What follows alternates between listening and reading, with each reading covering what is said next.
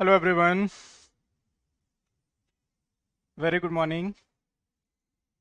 Greetings to all and welcome to testbook.com. Yes guys. So so, कैसे हैं सभी guys सभी का वेलकम आज के सेशन में सभी को नमस्कार जितने भी कैंडिडेट कनेक्ट हो चुके हैं यस yes, सो so मुझे कंफर्म करिए कीजिएगा एक बार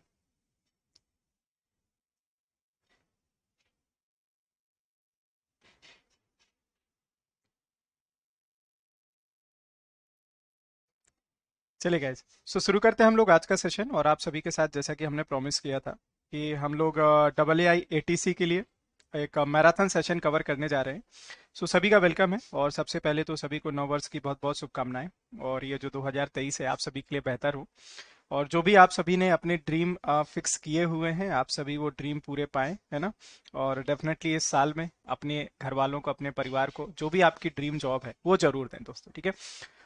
सो so, आगाज़ करते हैं हम लोग और टोटल मैं आपके लिए इसमें सेशन लेकर मैं लेकर के आया हूँ अराउंड 150 क्वेश्चन ठीक है? तो 150 क्वेश्चंस का एक मैराथन सेशन है और ये जाएगा याद रखिएगा आपका uh, 9 एम से लेकर के 11 एम तक ठीक है?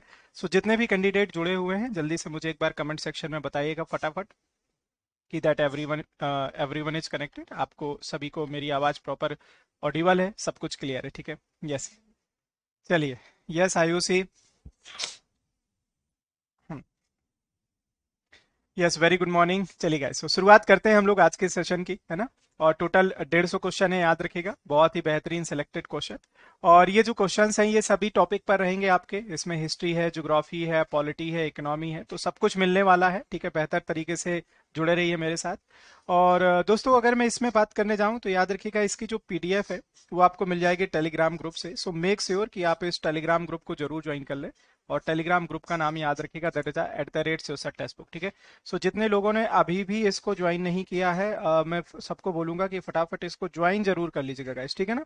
और ये बहुत ही बेनिफिशियल रहने वाला है आप सभी के लिए सेशन ठीक है? सो चलिए, आगाज़ किया जाए, जितने भी कैंडिडेट हैं, ठीक है? लाइक और शेयर ज़रूर कर दीजिएगा। बाकी आगे बढ़ने से मैं पहले बता दूँ कि आप अपनी प्रिपरेशन के लिए जुड़ सकते हैं। Text book super coaching courses के साथ और इसमें जो double A I A T C का एग्ज़ाम है या फिर हम लोग बात करने जाएँ डीआरडीओ का एग्ज़ाम है एजे की तैयारी करने जा, करने जा रहे हैं ठीक है? इन सभी कोर्सेज के लिए आप इनरोल कर सकते हैं text book super coaching courses के लिए। और जब भी इनरोल करने जाए so definitely you can use the coupon code आप कूपन कोड यूज़ कर सकते हैं there is S H I V K T to get the maximum discount ठीक है? दोस्तों दोस्तों चलिए आई होप कि सभी लोग रेडी हैं और हम लोग चलते हैं आज के सबसे पहले सवाल की ओर। और, देखते हैं दोस्तों कि आज का सबसे पहला सवाल कौन सा है दोस्तों ठीक है? यस हाँ बस मुझे एक सेकंड दीजिएगा है ना? और उसके बाद हम लोग शुरुआत करेंगे आगाज़ करेंगे दोस्तों है ना? आज के सेशन की। चलिए। जी हाँ बस मुझे एक सेकंड दे दीजिए और उसके बाद हम लोग शुरू करते हैं।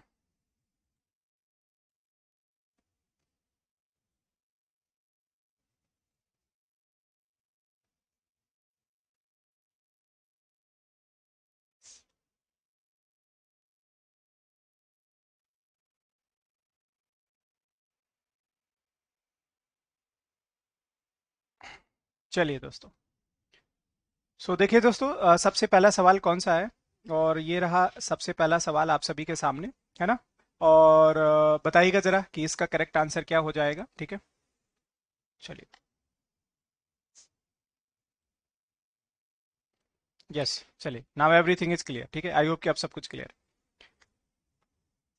यस निशी श्रावणी प्रशांत चलिए हैप्पी न्यू ईयर गाइस सभी को न्यू ईयर की शुभकामनाएँ। सभी को न्यू हैप्पी न्यू ईयर ठीक है? चलिए तो सबसे पहला सवाल। पूछा जा रहा है कि निम्नलिखित में से कौन प्रसिद्ध तबला वादक हैं? और ये आपको ऑप्शंस दिए गए हैं जाकिर हुसैन साहब हैं और विक्यू विनायक राम है और पीटी विजय जोग है या फिर Palghat Mani Iyer. So I hope की ऑप्शंस बहुत क्लियर है और सिंपल है ठीक है? और इसमें किसी भी तरीके से कोई भी कंफ्यूजन नहीं होना चाहिए कि आप किस ऑप्शन के लिए जाएँगे। सो so, आंसर जो है बहुत ही क्रिस्टल क्लियर हो जाने चाहिए सभी को। किसमें हम लोग किस ऑप्शन के साथ जाएँ। और यहाँ पर जो करेक्ट करेक्ट आंसर हो जाएगा that is option one is the right answer ठीक है? Option one is the right answer दोस्तों, ठीक है? चलिए, अगला सवाल देखिएगा, दोस्तों नेक्स्ट क्वेश्चन पूछा गया है कि जो बांग्लादेश का क्रिएशन हुआ था, अभी हाल ही में आई होप की याद होगा कि बांग्लादेश ने अपने 50 साल पूरे किए हुए हैं और इंडिया से काफ़ी बड़े लेवल पे इस समय सप्लाई भी रिसीव कर रहा है बांग्लादेश, है ना? और 250 मिलियन यूएस डॉलर का लोन भी दिया गया है वर्ल्ड बैंक के द्वारा, वो भी सभी आपने अपडेट पढ़े होंगे। इकोनॉमिक क्राइसिस से इस समय गुजर रहा है, ठीक है? तो बांग्लादेश का निर्माण कब हुआ था? इसमें से हम लोग किस ऑप्शन के लिए जाएँगे? तो आई होप कि आपको याद होगा एक शिमला पैक्ट और दूसरा आपको मालूम होगा जो वॉर हुआ था इंडो पाक वॉर 1971 का। तो जब इंडो पाक पाक वॉर हुआ, उसी समय बांग्लादेश का निर्माण हुआ। और इसमें हम लोग सही आंसर के लिए जाएँ। सो दैट इज़ ऑप्शन याद रखिएगा that is option four is the right answer ठीक है? तो याद रखिएगा 1971 और अभी इन्होंने 50 वर्ष पूरे किए थे। लास्ट ईयर 2021 में है ना 50 इयर्स कंप्लीटेड और अगर आपको याद हो, बहुत बड़ा एक इवेंट हुआ था। यहाँ के जो फाउंडर है, उनको हम लोग मानते, जो जानते हैं, शेख बंधु जिनका नाम क्या है? शेख मुजीबुर रहमान, ठीक है? जिसको बांग्लादेश के फादर के तौर पर जाना जाता है, ठीक है? और India share longest boundary with the Bangladesh India की सबसे बड़ी सरहद सीमा है बांग्लादेश के साथ, वो भी चार हज़ार छियानबे किलोमीटर की ठीक है? और हमारा इनके साथ तीस्ता रिवर का डिस्प्यूट भी है कई बार आपसे पूछा जाता है ना? एक रिवर के बारे में पूछा जाता है ठीक है? तो एक याद रखिएगा that is a Teesta river तो ये रिवर का एक डिस्प्यूट है हमारा इनके साथ। दूसरा एक और पढ़ के जाएगा that is a Kushiyara river तो ये जो रिवर है इनके साथ एक डिस्प्यूट है। कई बार आपने एक और पढ़ा होगा चटगांव पोर्ट के बारे में ठीक है? तो ये याद रखिएगा जो चटगांव पोर्ट है आ, ये बांग्लादेश में ही लोकेटेड है कई बार न्यूज़ में बना रहता है। और एक और पढ़ के जाएगा जिसका नाम है मूरे आइलैंड ठीक है? That is also related to Bangladesh ये भी बांग्लादेश से ही जुड़ा हुआ, ठीक है? अगला सवाल पूछा गया है कि who is the non member who can participant in the debate of Lok Sabha तो निम्नलिखित में से कौन ऐसा होता है जो पार्लियामेंट का मेंबर नहीं है बट इट कैन पार्टिसिपेट हाँ बिल्कुल लास्ट ईयर ही था आयुसी हाँ ढाका में कंडक्ट किया गया था, और बांग्लादेश का फाउंडेशन डे था, ठीक है? तो पूछा जा रहा है कि निम्नलिखित में से कौन पर्सन होता है जो पार्टिसिपेट कर सकता है पार्लियामेंट प्रोसीडिंग में but he is not the part of parliament तो वो पार्लियामेंट का पार्ट नहीं है बट प्रोसीडिंग्स में पार्टिसिपेट करता है। तो इसमें से जो हम लोग करेक्ट आंसर टिक करने जाएँगे, देखो वाइस प्रेसिडेंट की बात करें तो आर्टिकल कौन सा है, याद रखिएगा 63 है। Chief justice of India, I hope कि आप सभी को मालूम है कि हम लोग बात कर रहे होंगे सुप्रीम कोर्ट के बारे में तो है आपका 124 और एक होता है अटर्नी जनरल तो आपने पढ़ा होगा कि that is define in article 76 but इसका एक आर्टिकल होता है 88 तो आर्टिकल 88 कहता है कि attorney general of India that is the highest law officer of the country can participate in the proceedings of Lok Sabha and Rajya Sabha but he is not allowed to vote ठीक है? तो participate तो कर सकता है, ठीक है? Can participate but not allowed to vote तो याद रखिएगा, इसको वोट देना अलाउड नहीं होगा नॉट अलाउड टू वोट ठीक है? तो इंपॉर्टेंट मैटर पर सवाल रेज कर सकता है, सवाल पूछ सकता है बट वोट देने का अधिकार नहीं है, ठीक है? चलिए, अगला सवाल है दोस्तों नेक्स्ट क्वेश्चन पूछा जा रहा है कि no person shall be the citizen of India if he has जरा बताइएगा। सिटीजनशिप की हम लोग बात कर रहे हैं इस ऑप्शन क्वेश्चन में।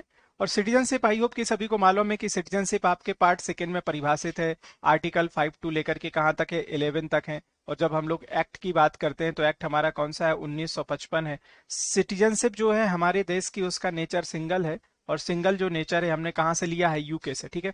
अब आपको मालूम है कि अगर आप अडॉप्ट करना चाहते हैं तो फाइव वेज है और लूज करना चाहते हैं तो थ्री वेज है। तो इसमें आप किस ऑप्शन के लिए जाएँगे? प्रशांत, जितेंद्र शैल साहू चलिए, काफ़ी सारे लोगों के आंसर आ चुके हैं और इसका जो राइट आंसर है option three is the right answer ठीक है? पूछा जा रहा है कि कोई भी व्यक्ति भारत का नागरिक नहीं होगा, यदि तो देखो दोस्तों, हम लोग बोलते हैं कि अडॉप्ट करने के पाँच तरीके हैं। पाँच तरीके क्या हैं? बाई बर्थ बाई रेनेंस आपने पढ़ा होगा बाई बर्थ है ना? By descent by registration by naturalisation और बाई इनकॉर्पोरेशन खो देने के तीन तरीके हैं by renunciation by deprivation by termination तो पूछ, पहले तीसरे ऑप्शन में क्या बोल रहा है? Voluntary acquired the citizenship of another country तो इसके लिए आपको याद रखना पड़ेगा।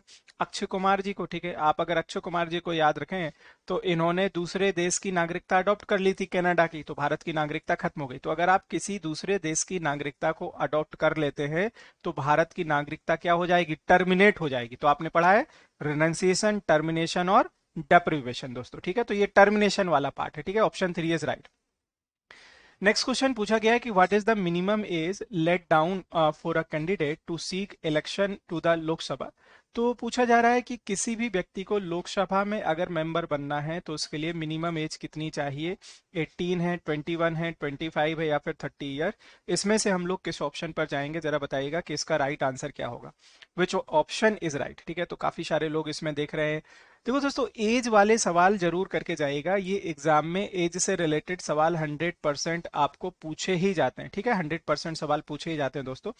सो so, इस क्वेश्चन का जो करेक्ट आंसर है that is option three is the right answer ठीक है? तो जब भी हम लोग बात करेंगे लोकसभा के बारे में या फिर आप बात करने जाए विधानसभा के बारे में ठीक है? तो जब भी लोकसभा और विधानसभा की बात हो तो कितना आपको याद रखना है? ट्वेंटी फाइव ईयर्स वाला पार्ट याद रखना है ठीक है? जब भी आपकी बात हो राज्यसभा के बारे में ठीक है तो याद रखिएगा राज्यसभा या फिर आप देखने जाएँ विधान परिषद तो इस आ, हम लोग किसकी बात करते हैं? काउंसिल ऑफ़ स्टेट या याद रखिएगा स्टेट लेजिस्लेचर काउंसिल के बारे में ठीक है? तो ये विधानसभा परिषद हो और राज्यसभा हो तो यहाँ पर अगर आपको मेंबर बनना है तो कितनी चाहिए? तीस साल ठीक है? थर्टी ईयर्स यहाँ पे रिक्वायर्ड है। अगर आप बनना चाहते हैं प्रेसिडेंट तो प्रेसिडेंट के लिए याद रखिएगा गवर्नर के लिए वाइस प्रेसिडेंट के लिए कितनी है? थर्टी फाइव ईयर ये आपको मालूम है ठीक है? पंचायत सिस्टम में मेंबर बनना है तो कितना है आपका? ट्वेंटी वन ईयर ठीक है? पंचायत के लिए कितना है? Twenty one year. तो सो ये जो एज क्राइटेरिया है दैट इज़ वेरी इंपॉर्टेंट ठीक है? चलो नेक्स्ट क्वेश्चन है the constitution of India describe India as तो uh, भारत का संविधान भारत को किस रूप में वर्णित करता है? अ यूनियन ऑफ़ स्टेट है एक क्वेशी uh, फेडरल है a federation of state and union territories है या फिर आ यूनिटरी स्टेट है। तो इसमें से हम लोग किस ऑप्शन के लिए जाएँगे? यस गाइस वंस अगेन सभी को नए वर्ष की बहुत बहुत शुभकामनाएँ। और सिर्फ़ ऐसा नहीं है कि इस साल शुभकामनाएँ देते रहे, बहुत सारे लोगों को मैसेजेस करते रहे। ठीक है, वो ठीक है, करते रहिए, लेकिन इस साल अपना कोई लाइफ का एक एम बनाइए, ठीक है? और ऐसा एम बनाइए जो आप अचीव करें और उसके लिए दिन रात मेहनत करें, ठीक है? तो एक प्रॉपर डेडिकेशन के साथ एक लक्ष्य निर्धारित करिए और फिक्स कर लीजिए कि मतलब आ, कि हमने इस लक्ष्य को जो निर्धारित किया है इस साल अचीव करना ही करना है किसी भी हालत में और दिन रात मेहनत में जुट जाइए दोस्तों है ना? बस ऐसा नहीं कि शुरुआत के वीक में आपका जोश बहुत हाई रहे और उसके बाद जैसे ही चार पाँच तारीख के बाद फिर जोश डाउन होना शुरू हो जाए ठीक है? तो अपने लक्ष्य को निर्धारित करें और प्रॉपर तरीके से पढ़ें मन लगा करके कोई भी ऐसी चीज़ नहीं है कि अगर आप मेहनत करते हैं तो आप अचीव नहीं कर सकते। चलिए दोस्तों सो so, इस क्वेश्चन का जो करेक्ट आंसर है that is option one is the right answer देखो बहुत सिंपल है इसमें मे बी थ्री कहने की ज़रूरत ही नहीं है दोस्तों देखो जरा समझो। आपने पार्ट वन पढ़ा होगा हमारा पार्ट वन क्या कहता है? India is the union of its state and its union territory ठीक है? आप आर्टिकल सबसे पहला देखिए आर्टिकल वन क्या कहता है? इंडिया दैट इज़ भारत ठीक है? Shall be the union of its state and union territory या फिर आप शेड्यूल वन को भी पढ़िए। तो शेड्यूल वन क्या कहती है? ठीक है? India is the union of its state and union territory तो आई होप कि इसका आंसर बहुत क्लियर है कि करेक्ट आंसर क्या है? ऑप्शन वन इज़ करेक्ट ठीक है, चलिए, अगला सवाल है। पूछा जा रहा है कि when Gandhi ji started quit India movement दोस्तों, ठीक है? तो इसको हम लोग क्विट इंडिया मूवमेंट भी बोलते हैं और इसको हम लोग अगस्त, याद रखिएगा, क्रांति के नाम से भी जाना जाता है, अगस्त क्रांति के नाम से भी जाना जाता है। तो इस क्वेश्चन का करेक्ट आंसर क्या होगा? विच ऑप्शन इज़ राइट ठीक है? निम्नलिखित में से आप किस ऑप्शन के लिए जाएँगे? आई होप की दैट इज़ वेरी सिंपल दोस्तों। सो so, ये स्टार्ट किया गया था नाइन्थ अगस्त को। ठीक है? याद रखिएगा दोस्तों ninth August 1942 that is very important याद रखिएगा नाइन्थ अगस्त 1942 और इसी में एक स्लोगन दिया गया था डू और डाई तो महात्मा गांधी ने बोला था कि द इंडिपेंडेंस इज़ याद रखिएगा in our reach we should hold ठीक है? इट वेरी टाइट तो महात्मा गांधी ने बोला था कि जो स्वतंत्रता है वो बिल्कुल हमारी पहुँच में है है ना? जो स्वतंत्रता है वो हमारी पहुँच में है। बस हमने इस इरादे को अब छोड़ना नहीं है और एक निश्चय के साथ लगे रहना है, ठीक है? उन्होंने स्टेटमेंट याद रखिएगा, ठीक है? Independence independence is in our reach and we should hold it very tight ठीक है? ये स्टेटमेंट था महात्मा गांधी का, ठीक है? अगला सवाल पूछा गया था कि rocket work on the principle of तो जरा बताइएगा रॉकेट निम्नलिखित में से किस सिद्धांत पर कार्य करता है? न्यूटन्स थर्ड लॉ, न्यूटन्स के तीसरे नियम पर, न्यूटन्स के पहले नियम पर, द्वितीय नियम पर, या फिर आर्कमटीज प्रिंसिपल पर, दोस्तों, ठीक है? तो ये आपने कई बार पढ़ा होगा ट्वेल्थ में, जब आपने बेसिक फिजिक्स पढ़ी होगी कि ये किस पे काम करता है तो इसमें हम लोग जो करेक्ट आंसर टिक करने जाएँगे, that is option one is the right answer तो याद रखिएगा न्यूटन्स थर्ड लॉ, ठीक है? तो याद रखिएगा कि इसका करेक्ट आंसर होगा, यानी कि जो राइट right आंसर हो जाएगा, वो क्या हो जाएगा, that is option one is right, ठीक है? अगला सवाल है, the radiation initially produced in fluorescent tube is तो प्रारंभ में प्रदीप्त नलिका में उत्पन्न जो विकिरण है, वह क्या है? इंफ्रारेड है, अल्ट्रावायलेट है माइक्रोवेव से या फिर एक्सरे है? तो इसमें से आप किस ऑप्शन के लिए जाएँगे? वन होगा, टू होगा, थ्री होगा या फिर four, which one is right? तो इस क्वेश्चन का जो राइट right आंसर है, ठीक है that is option second is correct that is ultra violet rays is the right answer ठीक है ultra violet rays is the right answer ठीक है, चलिए अगला सवाल है what was the basis of constituting the constituent assembly of India so दोस्तों I hope कि आपको मालूम है कि हमारे देश में जो कैबिनेट मिशन आता है, ये आ जाता है मार्च में। अगर हम लोग बात करने जाएँ तो अराउंड ट्वेंटी फोर्थ मार्च के आसपास हमारे देश में कैबिनेट मिशन आ जाता है 1946 में। और ये भेजा जाता है लेबर पार्टी बनी थी। आपकी लेबर पार्टी की सरकार आई थी लंडन में, और जिसके हेड बनाए गए थे पीएम क्लीमेंट एंटली उन्होंने बोला था कि जून 1948 तक इंडिया को छोड़ दिया जाएगा मतलब जो है अंग्रेज़ जो है छोड़ करके चले जाएँगे, ठीक है? तो कैबिनेट मिशन के द्वारा ही कॉन्स्टिट्यूएंट असेंबली का निर्माण किया गया, जिसमें तीन मेंबर आप पढ़ते हैं, पैथिक लॉरेंस स्टैटफोर्ड क्रिप्स और एवी अलेक्जेंडर, ठीक है? तो इस क्वेश्चन में जो करेक्ट आंसर है, आई होप कि सभी को मालूम है कि that is option second is the right answer ठीक है? तो याद रखिएगा, कई बार सवाल पूछा जाता है कि ये भारत में कब आया? तो ये भारत में आया था मार्च में इसके मेंबर याद रखेगा दोस्तों कैबिनेट मिशन के तो इसके मेंबर कितने थे दोस्तों? याद रखेगा तीन मेंबर थे, ठीक है? तीन मेंबर थे इसमें। पैथिक लॉरेंस जो इसके चीफ हुआ करते थे एवी अलेक्जेंडर और स्टेटफोर्ड क्रिप्स क्या ये पार्टीशन को स्वीकार करता था? तो याद रखेगा इसने पार्टीशन के आइडिया को पूरी तरीके से खारिज कर दिया था। इसने सेपरेट पाकिस्तान को किसी भी तरीके से स्वीकार नहीं किया था। बाद में माउंट बेटन आते हैं और वो अपना सेपरेट प्लान लेकर के आ जाते हैं, ठीक है? नेक्स्ट क्वेश्चन पूछा जा रहा है कि the constitution of India describe India as तो पूछा जा रहा है कि हमारे संविधान ने भारत को किस तरीके से डिफाइन किया हुआ है? सो आई होप कि ये आंसर अभी आप करके आए हुए थे। इसमें किसी प्रकार का कंफ्यूजन होना ही नहीं चाहिए था। That is option one is right ठीक है, चलिए अगला सवाल है। The natural source of hydrocarbon is तो जरा बताइएगा कि हाइड्रोकार्बन का नेचुरल सोर्स क्या होता है? ठीक है विच वन इज़ राइट दोस्तों जितने भी लोग जुड़ते चले जा रहे हैं मैं सभी को बोलूँगा कि सेशन को लाइक और शेयर ज़रूर करें ठीक है? लोगों की संख्या बहुत कम है। आ, मुझे उम्मीद थी कि नए ईयर में बहुत सारे लोग उठेंगे पढ़ेंगे एकदम मेहनत करेंगे। इसी वजह से आप सभी के लिए ये दो घंटे का मैराथन सेशन प्लान किया गया था। ये उम्मीद नहीं थी कि मतलब इतने कम कैंडिडेट हाथ जुड़ेंगे। ऐसा तो नहीं है कि सभी के सभी शिमला मनाली है ना चले गए होंगे महाबलेश्वर घूमने वगैरह। क्योंकि आपको मालूम है कि इस समय शिमला मनाली की हालत क्या है? दिल्ली और मुंबई से भी, बेंगलोर से भी बुरा ट्रैफ़िक है इस समय वहाँ पे। तो इसका जो करेक्ट आंसर है that is option one is right that is a crude oil is the correct option ठीक है नाउ नेक्स्ट क्वेश्चन क्वेश्चन में पूछा जा रहा है दोस्तों कि hydraulic machine work under the principle of तो जो हाइड्रोलिक मशीन होती हैं, ये किस किस प्रिंसिपल पर काम करती हैं? न्यूटन्स लॉ पे जूल्स पे लॉ पे पास्कल के नियम पे फ्लोटेशन ठीक है प्लवन का नियम तो इसमें से करेक्ट आंसर क्या है? और इसमें से जो हम लोग सही आंसर टिक करते हैं that is option three is the right answer याद रखिएगा पास्कल का नियम, ठीक है एज करेक्ट तो इसमें से जो सही आंसर हो जाएगा वो कौन है? That is option three as correct ठीक है। Now moving to next question question में पूछा जा रहा है the caste system of India was created for so दोस्तों, भारत में ये जो जाति व्यवस्था बनाई गई थी, या फिर आप कह सकते हैं कि भारत में ये जो वर्ण सिस्टम बनाए गए थे, चार वर्ण सिस्टम हम लोग पढ़ते हैं। ब्राह्मण, क्षत्रिय वैश्य और शूद्र। तो आपने पढ़ा था कि ये जो होंगे एजुकेशन से जुड़े रहेंगे, ये प्रोटेक्शन का काम करेंगे।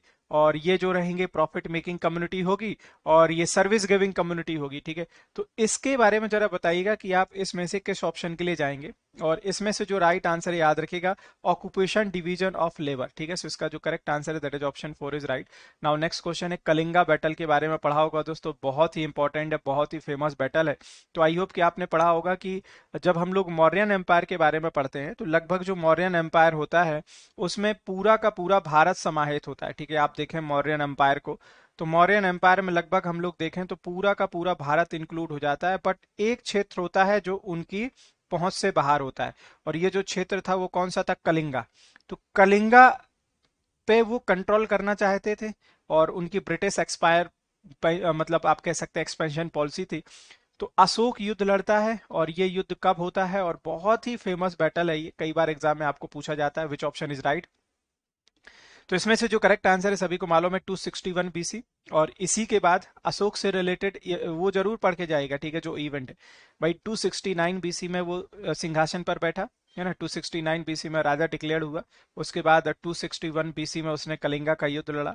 250 ईस्वी में ईसा पूर्व आपको मालूम है थर्ड बुद्धिस्ट काउंसिल को कंडक्ट करता है बुद्धिज्म को अडॉप्ट कर लेता है। तो उपगुप्ता से वो बुद्धिज्म की दीक्षा लेता है और उसके बाद 232 बीसी में उसकी मृत्यु हो जाती है। ठीक है चलिए अगला सवाल है कि which of the following is biodegradable तो निम्नलिखित में से कौन है जो बायोडिग्रेडेबल है? पेपर है डीडीटी है एल्यूमिनियम है या प्लास्टिक तो इसमें से हम लोग किस ऑप्शन पर जाएँगे? जरा बताइएगा कि which option is the right ठीक है? सो इस क्वेश्चन का करेक्ट आंसर क्या होगा? और आप निम्नलिखित में से किस ऑप्शन के लिए जाएँगे? वन uh, होगा टू होगा थ्री होगा या फिर फोर तो जरा बताइएगा कि इसका राइट आंसर क्या है ठीक है? Everyone try to give the correct answer ठीक है? चलो मैं एक बार और जब तक टेलीग्राम में शेयर कर देता हूँ सो दैट बाकी के कैंडिडेट भी आ जाए जो सो रहे हैं। सो so, इसका जो राइट आंसर है बायो बायोडिग्रेडेबल डिग्रेडेबल कौन होगा? पेपर ही होगा ना दोस्तों? और पेपर को कई बार पूछा जाता है हु इन्वेंटेड फ़र्स्ट इसका जो आविष्कार है दोस्तों, ये सबसे पहले किसने किया था? तो याद रखिएगा, इसका जो सबसे पहले आविष्कार किया गया था, वो कहाँ पर? चाइना में दोस्तों किया गया था, ठीक है? कई बार सवाल पूछा जाता है। तो अराउंड 105 एडी के आसपास माना जाता है कि 105 एडी के आसपास जो है, सबसे पहले कागज़ का आविष्कार किया गया था, ठीक है? Now moving to next question question में पूछा जाता है कि the speaker of Lok Sabha is elected by तो लोकसभा के स्पीकर को किसके द्वारा इलेक्ट किया जाता है? जैसे हम लोग बात करने जाएँ कि जो प्रेजेंट में इस समय लोकसभा स्पीकर हैं, वो हैं आपके मिस्टर ओम बिरला साहब, ठीक है? तो अभी वर्तमान में जो आपकी सेवनटीन इस समय याद रखिएगा, लोकसभा चल रही है, सत्रहवीं लोकसभा है और इसका टेन्योर 2019 से लेकर के 2024 तक है। तो इसी से रिलेटेड पूछा गया है तो जरा बताइएगा कि इसका राइट आंसर क्या होगा विच ऑप्शन इज़ राइट निम्नलिखित में से आप किस ऑप्शन को टिक करने जाएँगे दोस्तों, ठीक है? Which option is right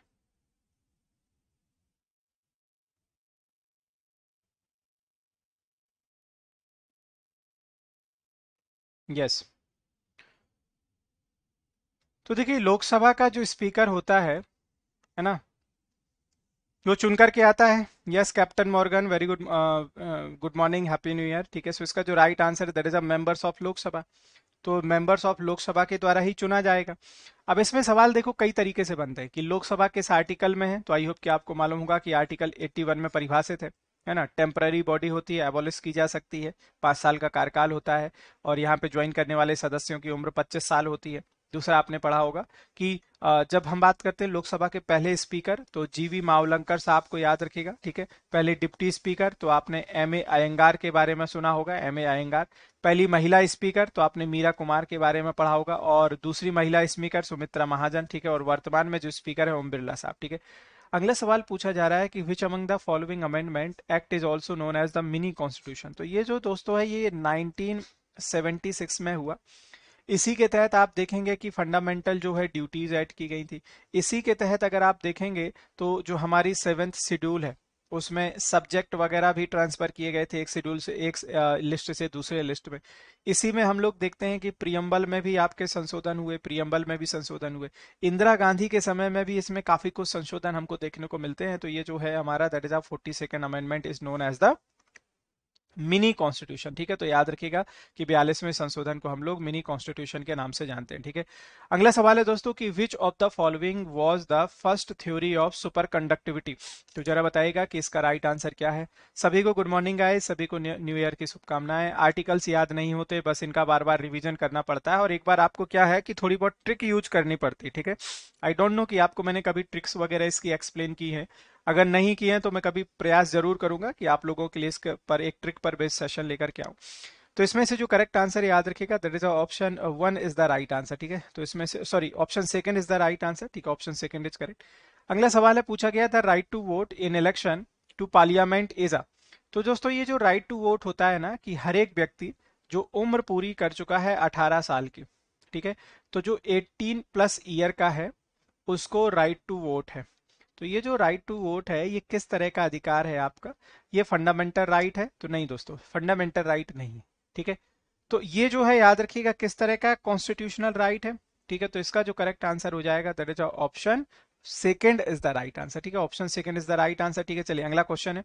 question में पूछा जा रहा है कि the metal use to make lightning conductor is around Ashutosh कम से कम तीन से चार क्वेश्चन तो रहते होंगे हंड्रेड परसेंट बायोलॉजी के।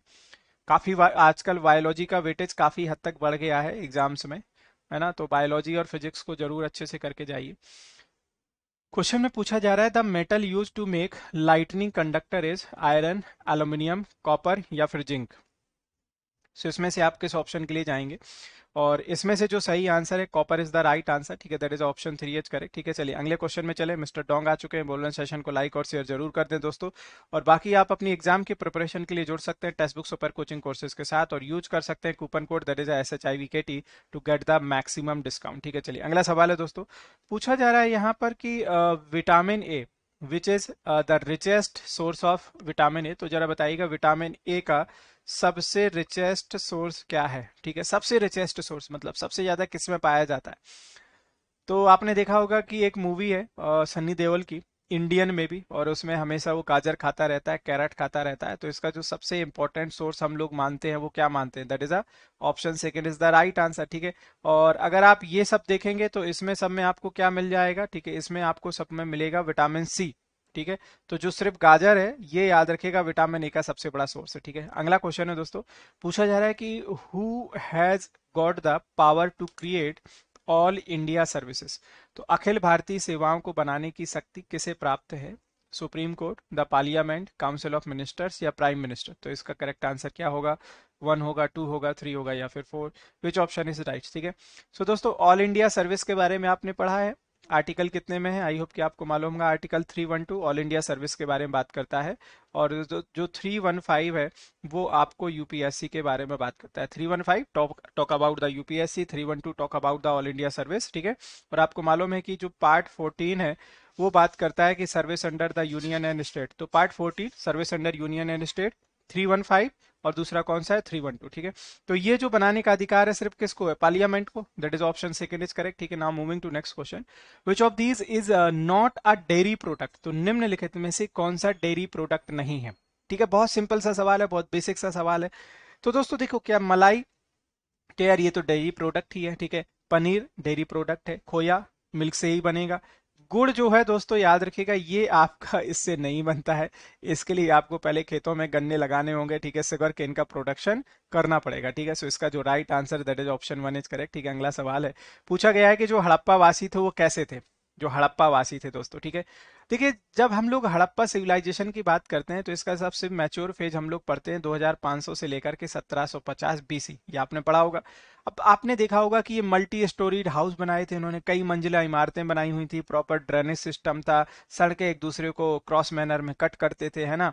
और पक्की ईंटों का इस्तेमाल किया गया था। अब ये जो इतनी सभ्यता थी, इतनी विकसित कब रही होगी? ये इतनी सभ्यता विकसित तब रही होगी जब कैसी होगी? ये अर्बन होगी, ठीक है?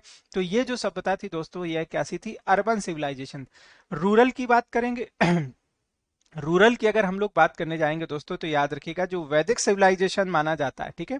वो कैसा माना जाता है? रूरल माना जाता है दोस्तों, ठीक है? अगला सवाल है, पूछा गया है कि the Rajya Sabha is dissolve after. तो जरा बताइएगा कि इस क्वेश्चन का करेक्ट आंसर क्या होगा दोस्तों? राज्यसभा आपको मालूम है, अपर हाउस आप बोलते हैं इसको, काउंसिल ऑफ़ स्टेट बोलते हैं, आर्टिकल 80 में परिभाषित है ये।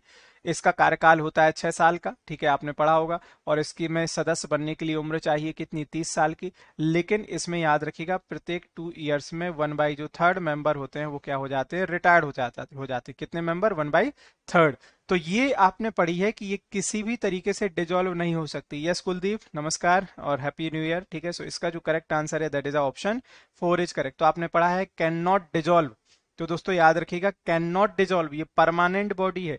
और अगर ये परमानेंट बॉडी है तो इसको आप भंग नहीं कर सकते दोस्तों, ठीक है? चलिए। हाँ so right answer option four अगला सवाल है, पूछा गया है कि where is the Christopher Columbus from तो कोलंबस तो याद है ना? कोलंबस निकला था भारत की खोज करने, लेकिन कोलंबस भारत ना पहुँच करके कहा पहुँच गया था? अमेरिका। तो ये जाना चाहता था कहाँ पर? ठीक है ये जाना चाह आना चाहता था भारत में, लेकिन फिर ये भारत में ना आकर के कहा पहुँच गया था? ये पहुँच गया था आपके अमेरिका में। तो इस क्वेश्चन का जो राइट आंसर है that is option second is the right answer ठीक है? That is option second is correct ठीक है? अगला सवाल है क्वेश्चन में पूछा गया है कि जो कलमकारी पेंटिंग है, ये निम्नलिखित में से किससे रिफर करती है? कलमकारी पेंटिंग तो जरा बताइएगा कि इस क्वेश्चन का राइट आंसर क्या होगा, और हम लोग किस ऑप्शन पे जाएँगे? वन होगा टू होगा थ्री होगा, या फिर फोर तो पहले तो बहुत इसके अच्छे से ऑप्शन को पढ़ लीजिए। और उसके बाद जरा आंसर टिक करने का प्रयास करें।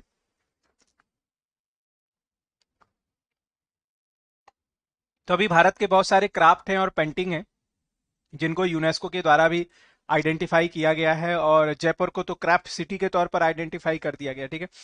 तो याद रखिएगा, ये है आपका that is option second is correct, that is a hand painted cotton textile in South India. जैसे आपने देखा होगा, वारली हम लोग पढ़ते हैं ना आपको बड़ी पॉपुलर मिलेगी महाराष्ट्र में। इसी तरीके से आप पढ़ेंगे कौन सी? मधुबनी। तो मधुबनी आपको मिल जाएगी खासतौर से कहाँ पर? बिहार वाले क्षेत्र में। तो ये जो है अलग अलग क्षेत्र की अलग अलग आपको पेंटिंग मिलेंगी दोस्तों ठीक है? और ये कौन सी है? आ, कलमकारी ठीक है? अगला सवाल पूछा गया है the name of the unreactive gas. तो निम्नलिखित में से कौन सी गैस ऐसी है जो अनरिएक्टिव होती है? इनर्ट गैस होती है हाइड्रोजन है नाइट्रोजन है ऑक्सीजन है या फिर carbon dioxide? Which one is right? तो इसमें से हम लोग किस ऑप्शन के साथ जाएँ? वन होगा टू होगा थ्री होगा या फिर फोर और इसका जो राइट आंसर है दोस्तों that is option three is the right answer ठीक है? So option three is correct now next question देखते हैं। मिस्टर विनोद आ चुके हैं और विनोद देखिए क्या बोल रहे हैं कि सेशन को जितने भी लोग देख रहे हैं, जिन्होंने अभी भी लाइक और शेयर नहीं किया है, सो फटाफट लाइक और शेयर ज़रूर मार दे दोस्तों। अगला सवाल है which combination of colour is most convenient during day and night time तो दिन और रात के समय में कौन सा रंग होता है जो सबसे ज़्यादा कन्वीनियंट होता है या फिर कह सकते हैं सुविधाजनक होता है? और सबसे ज़्यादा जो सुविधाजनक होता है वो दो ही होते हैं, एक होता है आपका रेड और दूसरा होता है दोस्तों कौन सा ग्रीन ठीक है? इसलिए आप देख रहे होंगे मैं आंसर करने के लिए ग्रीन का इस्तेमाल कर रहा हूँ और लिखने के लिए रेड का इस्तेमाल कर रहा हूँ, ठीक है? So that is option four is right now moving to next question आप periscope work on on the principle of तो एक जो पेरिस्कोप होता है ये किस सिद्धांत पर काम करता है? अभी आपने पढ़ा था रॉकेट के बारे में, फिर आपने हाइड्रोलिक के बारे में पढ़ा, ठीक है? और यहाँ पे अब पूछा जा रहा है पेरिस्कोप। तो periscope is work on the principle of, ठीक है? तो it work on the principle of, याद रखिएगा, रिफ्रैक्शन। ये रिफ्लेक्शन के सिद्धांत पर काम करता है, ठीक है? It work on the principle of reflection. हर जगह पर कई बार ऐसा, जहाँ पर भी आप टी आई आर देखते तो हर जगह पर आंसर नहीं होता। ये फिजिक्स में हुआ करता था, जब आप पहले पढ़ा करते थे इलेवन ट्वेल्थ पे कि भाई कहीं पर इस तरह के सवाल देखो टी आई आर को देखो, टिक कर दो दैट इज़ नॉट पॉसिबल तो याद रखिएगा कि इसमें जो करेक्ट आंसर है that is option four is right ठीक है? अगला सवाल है कि the particle required to continue the chain process of uranium uranium fission is ठीक है? तो पूछा जा रहा है कि यूरेनियम विखंडन की श्रृंखला प्रक्रिया को जारी रखने के लिए आवश्यक कण कौन कौन से हैं? इलेक्ट्रॉन है, प्रोटॉन है, न्यूट्रॉन है या फिर पॉजिट्रॉन? तो ये जो विखंडन प्रक्रिया है, ये तभी कंटिन्यू रहेगी जब आपके पास लगातार क्या मिलते रहेंगे? न्यूट्रॉन। भाई तो इस फ्यूज फ्यूजन प्रक्रिया के लिए क्या ज़रूरी है? न्यूट्रॉन होना ज़रूरी है? अगर न्यूट्रॉन न्यूट्रॉन ही नहीं होंगे तो फिर विखंडन कैसे होगा? ठीक है सो इसका जो राइट आंसर है that is option three is correct ठीक है, चलिए अगला क्वेश्चन है दोस्तों। नेक्स्ट क्वेश्चन देखिए जरा। कि Sagarmatha is the Nepali name for comment क्यों नहीं कर रहे हैं? बिल्कुल आंसर तो करिए। हाँ आप आंसर क्यों नहीं कर रहे हैं? ठीक है? सभी को दोस्तों कमेंट में आंसर करना है, ठीक है? चैट सेक्शन सभी के लिए ओपन है। सागर माथा तो सागर माथा एक नेपाली नाम है। और ये किसका नेपाली नाम है? तो आपने पढ़ा होगा कि जैसे हम लोग ब्रह्मपुत्रा को टिसांगपो बोलते हैं, जमुना बोलते हैं, रेड रिवर बोलते हैं, ठीक है? इसी तरीके से हम लोग माउंट एवरेस्ट को नेपाल में क्या नाम देते हैं? दैट इज़ आ सागर माथा। और माउंट एवरेस्ट इस समय हाईएस्ट पीक इन वर्ल्ड, ठीक है? तो ये विश्व की सबसे ऊँची चोटी है, हाईएस्ट पीक इन वर्ल्ड, ठीक है? विश्व की हम लोग सबसे ऊँची चोटी देखते हैं। और इसकी टोटल ऊंचाई आपको मालूम है कि आठ हज़ार आठ सौ अड़तालीस दशमलव एट्टी सिक्स मीटर है, ठीक है? तो चलिए, इसमें जो करेक्ट आंसर है that is option second one is right ठीक है? चलिए, अगला सवाल है। Extensively used nitrogenous fertiliser is तो पूछा जा रहा है कि व्यापक रूप से उपयोग किया जाने वाला नाइट्रोजन युक्त उर्वरक कौन सा है? अमोनियम नाइट्रेट है यूरिया है अमोनियम सल्फेट है, या फिर नाइट्रोलाइम है? सो so, इसमें से हम लोग किस ऑप्शन पर जाएँगे? वन होगा टू होगा थ्री होगा या फिर four which option is right और इस क्वेश्चन का जो सही आंसर है दोस्तों that is option second is correct urea is the right answer ठीक है now moving to next question question में पूछा जा रहा है कि radio active disintegration of uranium ultimately result in formation of ठीक है? तो यूरेनियम के रेडियो धर्मी विघटन के परिणाम स्वरूप अंततः निर्माण होता है रेडियम थोरियम पोलोनियम या फिर लेड तो इसमें से जो सही आंसर है, याद रखिएगा, जो करेक्ट आंसर आप टिक करेंगे that is option one is the right answer ठीक है? Option one is the right answer ठीक है? चलिए सो इसका जो करेक्ट आंसर हो जाएगा दैट इज़ ऑप्शन याद रखिएगा, इसका जो करेक्ट आंसर हो जाएगा that is option one is the right answer ठीक है? अगला क्वेश्चन पूछा जा रहा है the United Kingdom is a classical example of so दोस्तों यूके में अभी भी क्या होता है? तो यूपी में अभी आपने देखा होगा कि भाई अभी क्वीन की हाल ही में वहाँ पे डेथ हुई थी एलिजाबेथ द्वितीय की, है ना? और उसके बाद अब फिर से जो नए वहाँ के राजा बन गए हैं, वो प्रिंस चार्ल्स बन गए। तो आपको मालूम है कि जो प्रिंस चार्ल्स हैं, वो आपके मतलब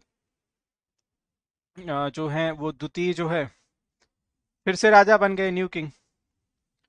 तो दोस्तों, अगर ये न्यू किंग बन गए हैं तो ये कौन सा सिस्टम होगा? ठीक है? अरिस्टोक्रेसी होगी एब्सोल्यूट मोनार्की होगी कॉन्स्टिट्यूशनल मोनार्की है या फिर पॉलिटी है। हाँ तो राजा का बेटा राजा, बेटे का बेटा राजा, यानी कि कैसे ये संविधानिक मोनार्की सिस्टम है ना that is option three is right ठीक है? हमारे देश में कैसा है? डेमोक्रेसी ठीक है? कि जनता का जनता के लिए जनता द्वारा शासन तो हमारे देश में डेमोक्रेसी और यहाँ पर क्या है? कॉन्स्टिट्यूशनल मोनार्ची मोनार्की सिस्टम ठीक है? अगला सवाल पूछा जा रहा है कि chief justice of a high court is appointed by. तो दोस्तों, जो हाई कोर्ट के चीफ जजेस होते हैं, इनको नियुक्त कौन करता है? हाई कोर्ट आपको मालूम है, आर्टिकल 214 से लेकर के कहाँ तक परिभाषित हैं? 232 तक परिभाषित हैं दोस्तों। सो इस क्वेश्चन का जो सही आंसर है, आपके इस ऑप्शन के साथ जाएँगे। वन होगा टू होगा थ्री होगा या फिर फोर हाँ बिल्कुल। नेपाल में भी था, लेकिन वहाँ की जनता डेमोक्रेसी की ओर आ गई थी। अब फिर से वहाँ की जनता राजशाही चाहती है तो नेपाल में चेंजेस चलते रहते हैं, ठीक है? इसका जो करेक्ट आंसर है that is option second is right ठीक है? याद रखेगा कि इसको अपॉइंट कौन करता है? तो जो अपॉइंट होता है, याद रखेगा वो करता है आपका कौन?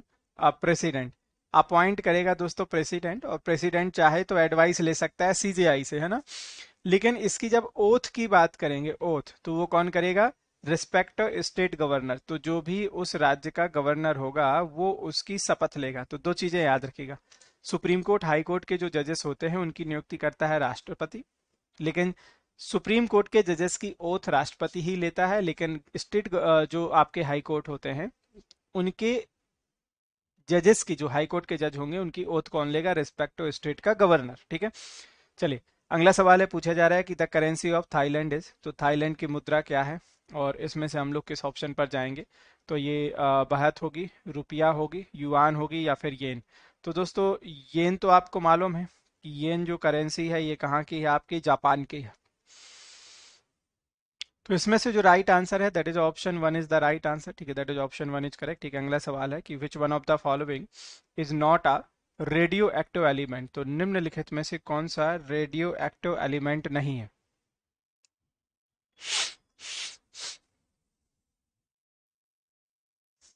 यस वेरी गुड दिलीप ठीक है? इसी तरीके से होता है जो डिस्ट्रिक्ट कोर्ट के जजेस होते हैं। डिस्ट्रिक्ट कोर्ट होते हैं ना? डिस्ट्रिक्ट कोर्ट के जजेस को नियुक्त करता है गवर्नर लेकिन जब ओथ की बात करते हैं तो रिस्पेक्टिव डिस्ट्रिक्ट का जो डीएम होगा, यानी कलेक्टर होगा, वो शपथ दिलाएगा, ठीक है? तो इसमें से जो आप सही आंसर टिक करेंगे that is cadmium is the right answer ठीक है? ऑप्शन फोर इज़ करेक्ट अगला सवाल है कि in which country is Karbala the holy city of Shia Muslim is located तो पूछा जा रहा है कि जो करबला का शहर है सिया मुसलमानों का पवित्र शहर है। ये निम्नलिखित में से कहाँ पर लोकेटेड है? ईरान में, इराक में, जॉर्डन में या फिर सीरिया में? और इसमें से हम लोग जो सही आंसर पे जाएँगे तो इसका जो करेक्ट आंसर हो जाएगा that is Iraq is the right answer ठीक है? So option second is correct अगला सवाल है कि which of the following tissue help to store food and provide support to plant तो which of the following tissue help to store food and provide support to plant और ये जो है that is a याद रखिएगा option three is right ठीक option three is correct अगला सवाल है कि what is the main aim of Montreal protocol तो मॉन्ट्रियल प्रोटोकॉल किससे जुड़ा हुआ है दोस्तों? तो मॉन्ट्रियल प्रोटोकॉल साइन हुआ था। This treaty was sign in 16 सितंबर 1987 तो आपने सबने पढ़ा होगा, ये 16 सितंबर 1987 को हुआ था। और इसका हमारा एक लक्ष्य है। एक ऐसी लेयर है जो हमको प्रोटेक्ट करती है सूर्य की हानिकारक जो यूवी रेज है। स्ट्रेटोस्फेयर में पाई जाती है, लेकिन उसका डिके भी हो रहा है। सीएफसी के कारण क्लोरोफ्लोरोकार्बन जो आपके रेफ्रिजरेटर एरोसॉल ठीक है, इन सबसे एसी से लीक होता है। तो ये जो है, ये प्रोटेक्शन के लिए किसकी ओजोन लेयर ठीक है? तो इसमें जो करेक्ट आंसर है that is option one is the right answer और याद रखिएगा कि जो हम लोग 16 सितंबर मनाते हैं, ये जो 16 सितंबर है, इसको हर साल ओजोन डे के तौर पर ऑब्ज़र्व किया जाता है ठीक है? अगला सवाल है finance commission is constituted so दोस्तों फाइनेंस कमीशन का आर्टिकल बहुत इंपॉर्टेंट रहता है कई बार पूछा जाता है। अच्छा दूसरा सवाल होता है हु कॉन्स्टिट्यूटेड तो इसको आ, मतलब कॉन्स्टिट्यूट कौन करेगा ठीक है? इन हाउ मैनी ईयर्स ये भी पूछा जाता है इन हाउ मैनी ईयर्स ठीक है ये आपको पूछा जाएगा। अच्छा एट प्रेजेंट अभी जो वर्तमान में फाइनेंस कमीशन है, याद रखिएगा, वो कौन सा है और इसके हेड का नाम क्या है। तो ये सब सवाल सवाल है फ़र्स्ट वॉच तो सबसे पहला कौन सा था। तो ये देखो अलग अलग तरह के सवाल पूछे जाते हैं इसमें, और ये जितने भी पॉसिबिलिटी होती है सवाल बनने की, वो मैंने सब ले लिए दोस्तों। तो पहले तो याद रखिएगा कि जब भी हम लोग फाइनेंस कमीशन की बात करेंगे तो आपने वित्त आयोग पढ़ा होगा। वित्त आयोग का फ़ंक्शन होता है जो भी कलेक्टेड टैक्स रेवेन्यू हो कलेक्टेड टैक्स रेवेन्यू को सेंट्रल गवर्नमेंट के बीच में और स्टेट गवर्नमेंट के बीच में बांट देना। सेंट्रल गवर्नमेंट के बीच में और स्टेट गवर्नमेंट के बीच में बांट देना। अब इसका अगर आप आर्टिकल देखें तो इसका आर्टिकल कितना है? 280 है दोस्तों, ठीक है? आर्टिकल कितना है? 280 है। इसको कौन कॉन्स्टिट्यूट करता है? तो याद रखिएगा, इसको प्रेसिडेंट कॉन्स्टिट्यूट करते हैं। प्रेसिडेंट कॉन्स्टिट्यूट करते हैं, ठीक है? कितने साल में याद रखिएगा? तो एवरी फाइव ईयर्स में। कितने साल में कॉन्स्टिट्यूट किया जाता है, प्रत्येक पाँच साल में, ठीक है? ये याद रखिए, बहुत इंपॉर्टेंट है। अच्छा वर्तमान में कौन सा है? तो हम लोग पंद्रवा फाइनेंस कमीशन पढ़ रहे हैं, जिसके हेड कौन है? एन के सिंह है। तो प्रत्येक पाँच साल में राष्ट्रपति इसको क्या करेगा? नियुक्त करेगा, दोस्तों, ठीक है? अच्छा फ़र्स्ट वॉच तो दोस्तों, जो सबसे पहला था, उसके हेड थे केशी नियोगी तो जो सबसे पहले थे, उसके हेड थे केशी नियोगी वर्तमान में कौन है? एन के सिंह दोस्तों। सो आई की सभी सवाल हो चुके हैं, दोस्तों, ठीक है? चलिए, अगला अगला सवाल देखिएगा जरा। हाँ बिल्कुल चलेंगे हम लोग, ठीक है? या फिर आप ऐसा करिएगा कि ब्लूटूथ के थ्रू जितना भी है सब डाटा ट्रांसफ़र ले लीजिएगा कनेक्ट कनेक्शन करके और फिर चले जाइएगा। तो प्रत्येक पाँच साल में इसका गठन होगा दोस्तों, है ना? प्रत्येक पाँच साल में, ठीक है? और याद रखिएगा कॉन्स्टिट्यूशनल बॉडी है ये, ठीक है it is a constitutional body ठीक है? तो ये आपका एक संविधानिक निकाय है, ठीक है? अगला सवाल पूछा जा रहा है कि supersonic jet causes pollution by thinking of तो किस परत का पतला होना सुपरसोनिक जेट प्रदूषण का कारण बनता है? इसमें से करेक्ट आंसर क्या होगा? One two three and four which one is right तो ओजोन लेयर होगा, है ना? और रिटायरमेंट एज इनकी 65 होगी आज तो है ना? ये जितने भी आपके मतलब पद होते हैं, इनमें 62 या 65 इनकी रिटायरमेंट एज यही होती है। हाँ रबर बैंड तक नहीं ले जा सकते, ठीक है? अगर कोई बिहार का एग्ज़ाम हुआ तो बात अलग है ना? बिहार के एग्ज़ाम में तो भाई साहब वहाँ पे तो पता चला हम लोग पेपर देने जा रहे हैं। छुट्टी ली हुई है है ना? पैसों का भी नुकसान हो रहा है और पता चला आप एयरपोर्ट पे उतरे या फिर आप रेलवे स्टेशन तक पहुँचे, तब तक आपका पेपर ही लीक हो गया। तो वहाँ की सिचुएशन अलग है। तो इसका जो राइट आंसर है that is option one is the right answer ठीक है? Ozone layer is the correct option ठीक है? सो इसका जो करेक्ट आंसर है दोस्तों that is the option three is the right answer तो आपको मालूम है कि जो स्ट्रेटोस्पेयर होती है दोस्तों स्ट्रेटोस्पेयर तो स्ट्रेटोस्पेयर आपकी मालूम है कि मोस्ट स्टेबल लेयर है that is a most stable layer यहाँ पर ज़्यादातर एटमोस्फेरिक चेंजेस नहीं मिलते हैं दोस्तों। तो आपकी ओजोन लेयर भी यहीं पर पाई जाती है और जितने भी एरोप्लेन है दोस्तों, ठीक है? वो सब आपके इसी में उड़ते हैं, ठीक है? अगला सवाल है पूछा जा रहा था sound produce by the bat तो चमगादड़ का तो नाम ही मत लो दोस्तों। चमगादड़ के सूप ने कुछ ऐसा आतंक मचाया। देखो यार हॉट एंड सॉर है है ना? मनचाओ है। इतने सारे सूप हैं आजकल। लेकिन पता नहीं लोगों को ऐसा क्या पड़ा हुआ था। लोग बोलते हैं कि लोगों ने इसका सूप पिया और उसके बाद कोरोना फैल गया। और दोबारा से चल रहे हैं केसेस बढ़ रहे हैं, ठीक है? सो जब भी इसका नाम लेते हैं तो एकदम घबराहट पैदा हो जाती है लोगों के मनो, मन में। तो ये कौन सी आवाज़ निकालती है दोस्तों? जरा बताइएगा कि इसका करेक्ट आंसर क्या होगा? यस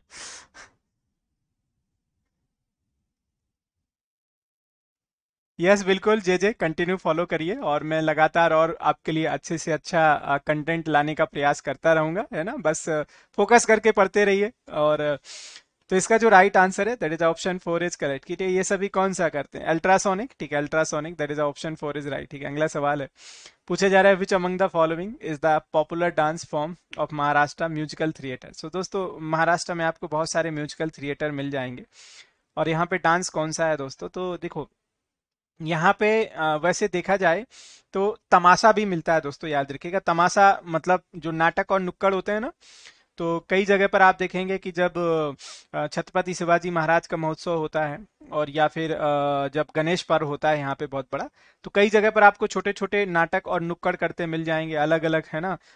कई हो सकता है स्वतंत्रता सेनानियों पे कंडक्ट किए जा रहे होंगे या फिर मराठा साम्राज्य के ऊपर होंगे, ये आपको तमाशा मिलेंगे। और दूसरा कौन सा है दोस्तों? दैट इज़ अ लावनी ठीक है? नौटंकी जो है दोस्तों, याद रखिएगा, नौटंकी है आपका यूपी का। तो यूपी का नौटंकी है, रासलीला है, कथ, कथक है। ये सब कहाँ के हैं आपके? यूपी के हैं ठीक है।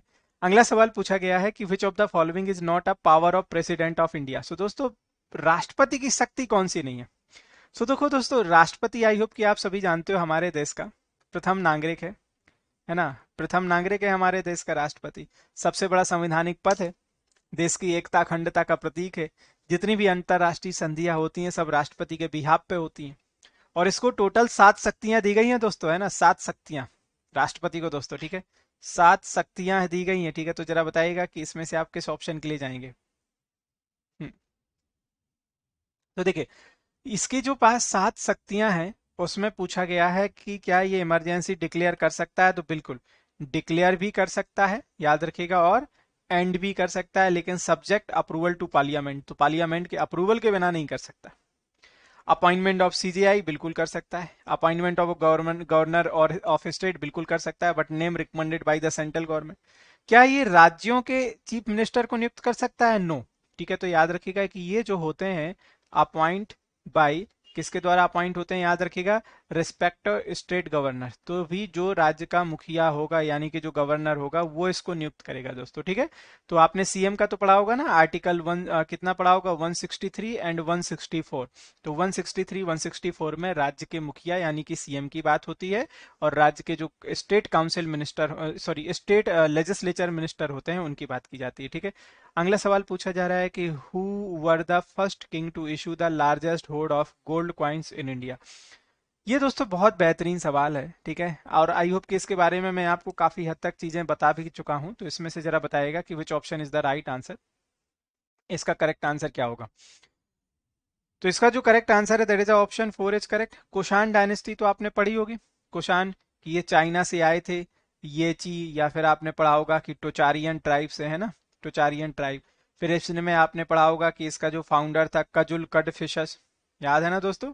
ठीक है कजुल कट फिशस और इसमें आपने सबसे महान राजा पढ़ा होगा, जिसका नाम क्या था? कनिष्का प्रथम तो ये जो कनिष्का प्रथम था, एक तो इन्होंने याद रखिएगा, बहुत बड़ी मात्रा में सिक्के जारी किए।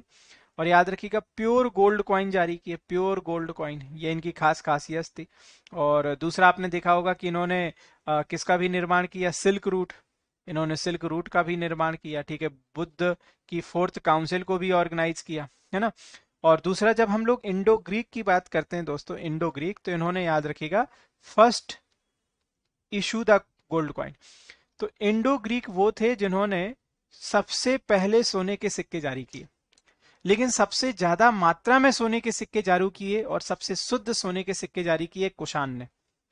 तो अगर सबसे पहले सोने के सिक्के जारी किए गए तो इंडो ग्रीक है। सबसे ज़्यादा बड़ी मात्रा में और सबसे शुद्ध तो कुशान है। और कुशान में सबसे प्रसिद्ध राजा कनिष्क प्रथम, जिसके समय में नागार्जुन और आप किसके चरक के बारे में पढ़ते हैं वाशुमित्र और अशोक घोष के बारे में पढ़ते हैं, जिसके ने फोर्थ काउंसिल को ऑर्गेनाइज किया 72 एडी में कुंडल वन कश्मीर में, जहाँ से आपका बुद्धिज्म दो भाग में कन्वर्ट हो गया, हीनयान और महायान। ठीक है? ये इतना पार्ट याद रहेगा सभी को दोस्तों, ठीक है? अगला सवाल देखते हैं। पूछा जा रहा है कि an atomic pile is use for ठीक है? और बाकी इंडो ग्रीक में तो याद ही होगा मिनांडर मिलिंद पन्नो आपने पढ़ा होगा फ़ेमस इंडो ग्रीक किंग हाँ सबसे पहले अगर पूछा जाए कि who first issue gold coin तो आप इंडो ग्रीक को पढ़ने जाएँगे। हाँ शेरशाह सूरी भी सिक्के जारी किया था। शेरशाह सूरी के समय जो आए थे, उनका नाम था दाम और रुपया। तो वो याद रखिएगा, चांदी के और कॉपर के सिक्के लेकर के आया था। जो इलतुतमिस था, उसने भी सिक्के इशू किए थे, इलतुतमिस जीतल और टंका, याद रखेगा जीतल और टंका। जो मोहम्मद बिन तुगलक था, वो भी सिक्के लेकर के आया था, जिसने किसको इशू किया था, आपने पढ़ा होगा, टोकन करेंसी, ठीक है? तो इसका जो राइट आंसर है दोस्तों, an atomic pile is use for, ये किस लिए यूज़ की जाती है? फॉर कंडक्टिंग न्यूक्लियर फ्यूजन, ठीक है? सो इसमें से जो करेक्ट आंसर ऑप्शन सेकंड। अगला सवाल है, the cave and rock cut temples at Ellora are related to? तो जरा बताइएगा कि किससे जुड़ा हुआ है। तो इसमें आप टोटल थर्टी फोर केप्स पाते हैं दोस्तों। टोटल थर्टी फोर केप्स हैं और ये आपकी लोकेटेड है औरंगाबाद, महाराष्ट्र में, है ना? और बिल्ड की गई थी, याद रखिएगा, ये कई बार सवाल आया हुआ है। तो इनका निर्माण किया गया था, याद रखिएगा, कृष्णा प्रथम नाम का एक राजा था और ये किससे जुड़ा हुआ था? राष्ट्रकूटा डायनेस्टी। तो राष्ट्रकूटा डायनेस्टी जब हम लोग पढ़ते हैं कृष्ण प्रथम के बारे में तो इसमें से जो करेक्ट आंसर हो जाएगा आपका that is option four is the right answer तो ये हिंदुजम से भी है, जुड़ी हुई, और याद रखिएगा जैनिज्म से भी है और बुद्धिज्म से भी, ठीक है? ये सभी से जुड़े हुए हैं ठीक है? चलिए, अगला सवाल है। The smallest national park in Madhya Pradesh तो दोस्तों मध्य प्रदेश का सबसे छोटा नेशनल पार्क जरा बताइएगा कि मध्य प्रदेश के सबसे छोटे नेशनल पार्क का नाम क्या है, और आप निम्नलिखित में से किस ऑप्शन पर जाएँगे? हाँ ये सभी से जुड़े हुए हैं। अगर आप सिर्फ़ बात करेंगे भीम बेटका की कुलदीप है ना तो भीम बेटका में सिर्फ़ आपको शिव भगवान की मूर्तियाँ मिलेंगी। बुद्ध भगवान की भी तो हैं वैसे बट एलोरा सभी से जुड़ा हुआ है। सो so, इसमें का करेक्ट आंसर क्या हो जाएगा?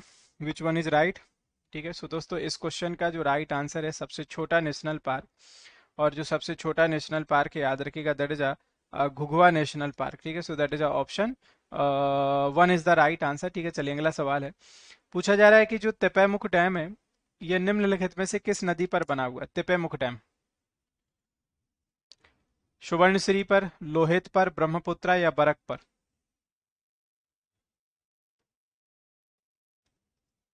जितने भी लोग जुड़े हुए हैं दोस्तों सेशन को लाइक और शेयर ज़रूर करें और अपने दोस्तों के साथ भी एक बार इसको फॉरवर्ड कर दें, ठीक है? तो ये याद रखिएगा that is built on the Parak river और याद रखिएगा, ये सहायक नदी है किसकी? ट्रिब्यूटरी ऑफ़ ब्रह्मपुत्र तो ये किसकी सहायक नदी है? ब्रह्मपुत्र की। अगला सवाल है कि height of Sher peak in southern Aravalli range is ठीक है? तो शेर पीक की ऊंचाई जरा बताइएगा कि दक्षिणी अरावली पर्वत श्रेणी के शेर पीक की ऊंचाई कितनी है? एक हज़ार सात सौ बाईस है। और पंद्रह सौ संतानवे है, चौदह सौ बयालीस है या फिर तेरह सौ अस्सी है।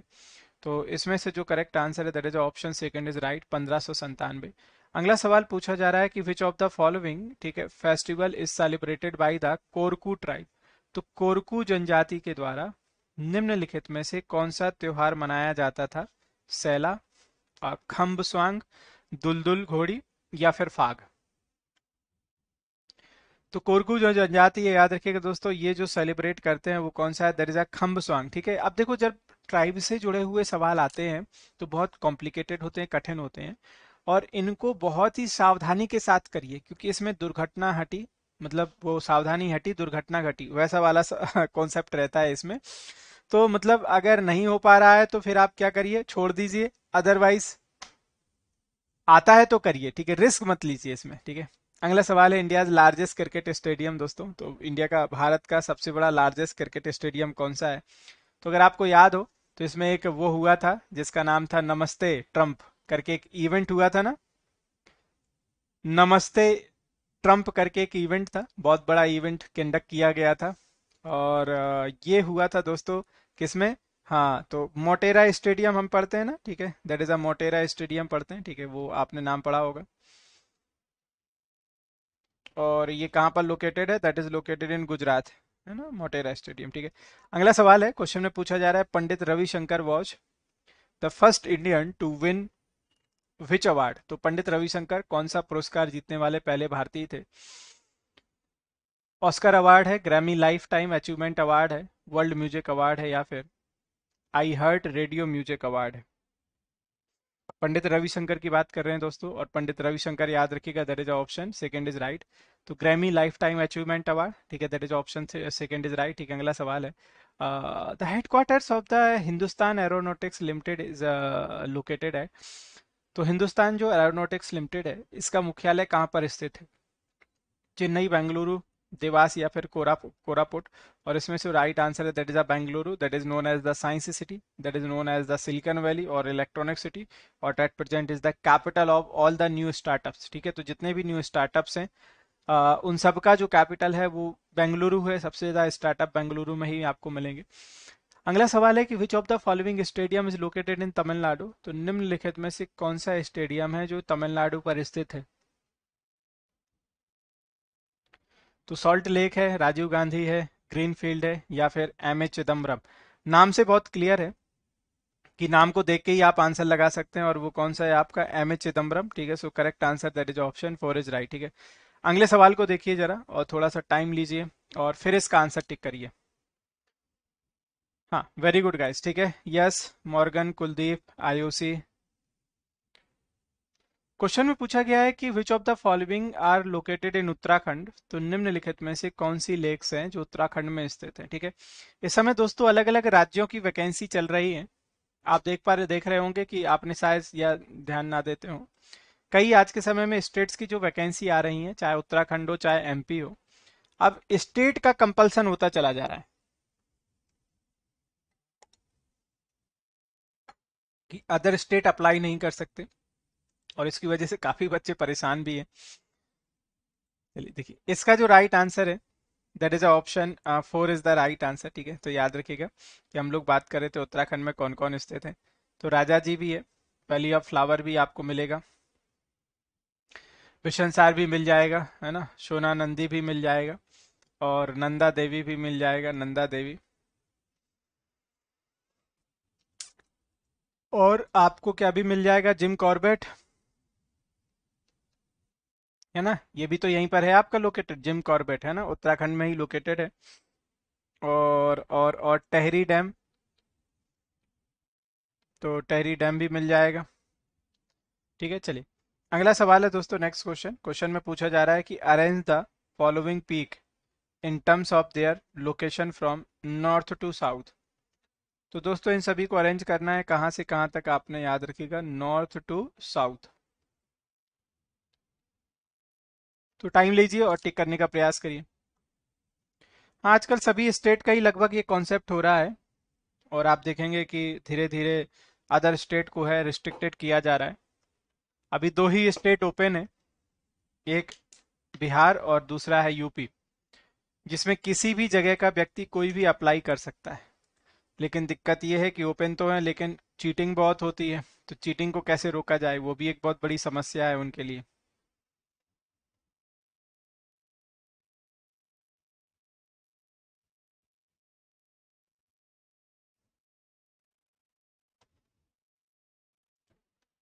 सो so, इसका जो राइट आंसर है दोस्तों देखिए। सबसे साउथ में मिलेगा कौन सा आपको? आ, अनाई मोटी। ठीक है याद रखिएगा। ठीक है। सो so, इसका जो करेक्ट आंसर है सॉरी सबसे पहले है आपका कौन सा? That is a broad peak Nanda Devi और अनाई मोटी थोड़ा सा कंफ्यूजिंग है।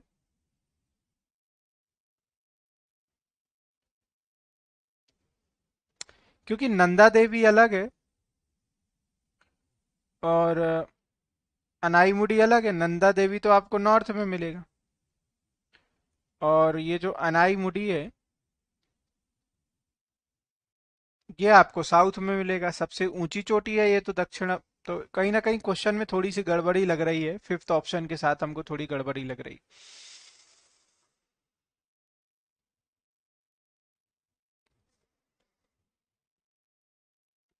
फिफ्थ के साथ थोड़ी इसमें कुछ गड़बड़ नहीं लग रहा फिफ्थ ऑप्शन में आपको? बाकी तो चलो ठीक है कि आप हाँ ब्रॉड पीक हो गया नंग, नंगा पर्वत हो गया। अच्छा नंदा देवी याद रखिएगा ये शायद सिक्स ऑप्शन है। नंदा देवी जो है याद रखिएगा दोस्तों सिक्स ऑप्शन है। अगर ये सिक्स ऑप्शन है तो फिर ऑप्शन थ्री सही है।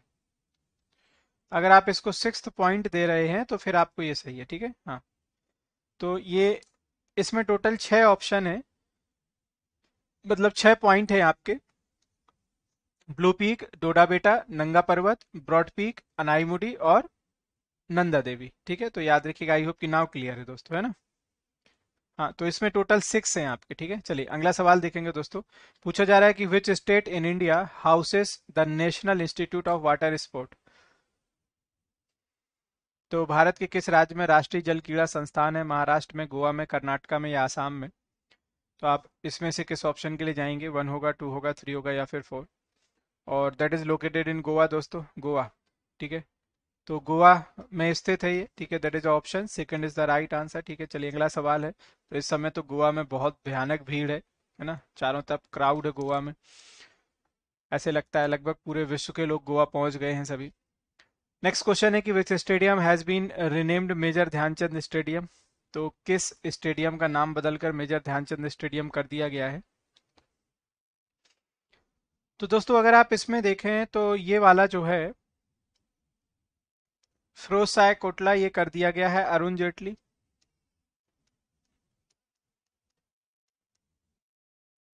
अरुण जेटली और ये जो दिल्ली याद रखिएगा स्टेडियम था नेशनल स्टेडियम ऑफ़ दिल्ली इसका नाम कर दिया गया मेजर ध्यानचंद, ठीक है? सो इसका जो करेक्ट आंसर है that is option second is right ठीक है? अगला सवाल है कि in which district of Madhya Pradesh are the caves of Udayagiri and Khandagiri are located तो उदयगिरी की गुफाएँ आपको जरा बताइएगा कहाँ पर स्थित है? Which one is right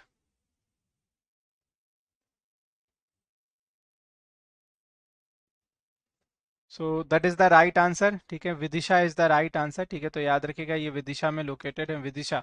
और याद होगा, अगर आपको विदिशा तो विदिशा का रिलेशन है किससे? मौर्यन एम्पायर से। और Vidisha was the wife name of Ashoka ठीक है? तो अशोका की ये पत्नी थी विदिशा। और आपने एमपी में ऑलरेडी कई आपने पढ़ी हुई हैं, ठीक है? तो आप बाघ की गुफाएँ पढ़ते हैं, बाघ केव्स के बारे में पढ़ते हैं। इसके अलावा आप भीम बेटका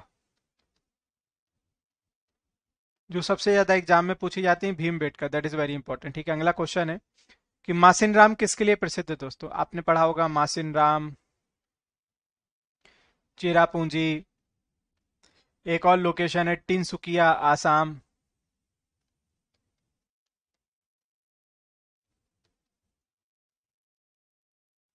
तो मासिन राम है, चेरापूंजी है टिनसुकिया आसाम है। ये सब पॉपुलर है।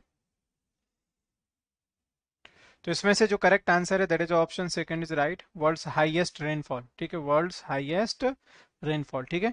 सो दोस्तों, अब याद रखिएगा एट एट प्रेजेंट अब अगर वर्तमान में देखें तो ये मासिन राम लोकेशन नहीं है। अब वर्तमान में जो लोकेशन है, वो कौन सी है? दैट इज़ अ टिनसुकिया और ये पड़ता है आपका कहाँ पर? आसाम में। अगला सवाल है दोस्तों, अब देखो यहाँ पर एक इंपॉर्टेंट अपडेट दोस्तों, कि आप अपनी एग्ज़ाम की प्रिपरेशन के लिए जुड़ सकते हैं text book super coaching courses के साथ, और इंडिया के जो भी बेस्ट टीचर्स हैं, उन सभी के यहाँ पर आपको सभी कोर्सेज अवेलेबल हैं। और यस मैंने आपको बताया कि अगर आप न्यू ईयर में टारगेट करके चल रहे हैं, कि आप किसी एग्ज़ाम को क्वालिफाई करना चाहते हैं तो आप definitely text book super coaching को प्रेफर कर सकते हैं, और इंडिया के सभी बेस्ट टीचर्स आपको यहाँ पर मिल जाएँगे। तो सबसे पहले तो दोस्तों, अभी सेशन एंड नहीं हुआ है। देर आर मैनी क्वेश्चन दो घंटे का सेशन है पूरा। तो सबसे पहले तो देखो सेशन को लाइक कर दीजिएगा, है ना? चैनल को सब्सक्राइब नहीं किया है तो कर लें। बेल आइकन को ज़रूर हिट कर लें दोस्तों, जितने भी लोग हैं, है ना? सो सभी नोटिफिकेशन मिलते रहेंगे और यहाँ पर आप देखेंगे तो पूरी प्लेलिस्ट मिल जाएगी मेरे हर एक सेशन की और यहाँ पर आपको मास्टर क्लास के लिंक मिल जाएँगे, ठीक है? और यहाँ पर जाएँगे दोस्तों तो आपको मिलेंगी double A I A T C की कोचिंग है ना? अब इस पर जब आप क्लिक करेंगे तो आपको ये अलग अलग जितने भी हैं टीचर्स के सभी के कोर्सेज मिल जाने वाले हैं, ठीक है? तो सभी के कोर्सेज लाइन टू लाइन याद रखिएगा अवेलेबल है और यस इनमें से आप full course, physics, mathematics non technical everything is available साथ में आपको बहुत सारे वन टू वन क्लास हैं डाउट सेशन है स्ट्रेटजी सेशन है, ठीक है? तो इन सबको भी आप अटेंड करते रहिए। और यहाँ पर अप्लाई कर दीजिए कूपन कोड को। और जब आप कूपन कोड यूज़ करने जाएँ तो कूपन कोड तो यूज़ करना है। That is S H I V K T है ना?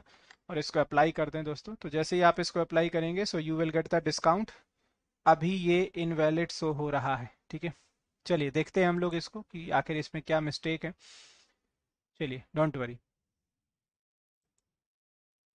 तो ये बहुत ही मिनिमम प्राइस में मिल जाएगा दोस्तों, है ना? चलिए। अब देखते हैं हम लोग अगला सवाल।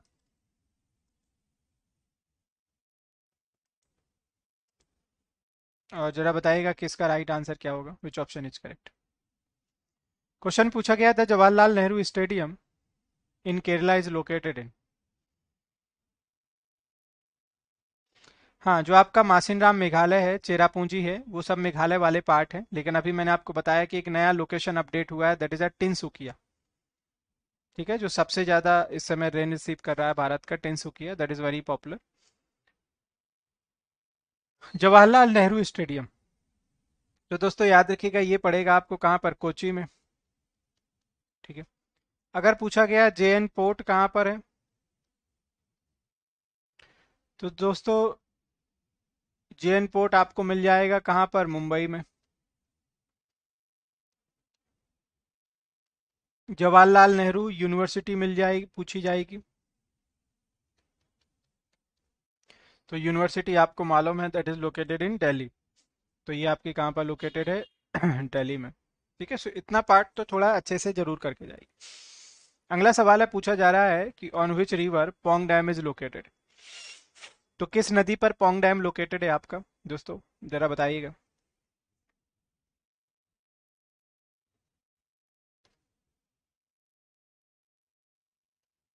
दोस्तों, देखिए, इसमें आप एक नदी देख रहे होंगे, ताप्ती। ताप्ती निकलती है गुजरात सूरत से।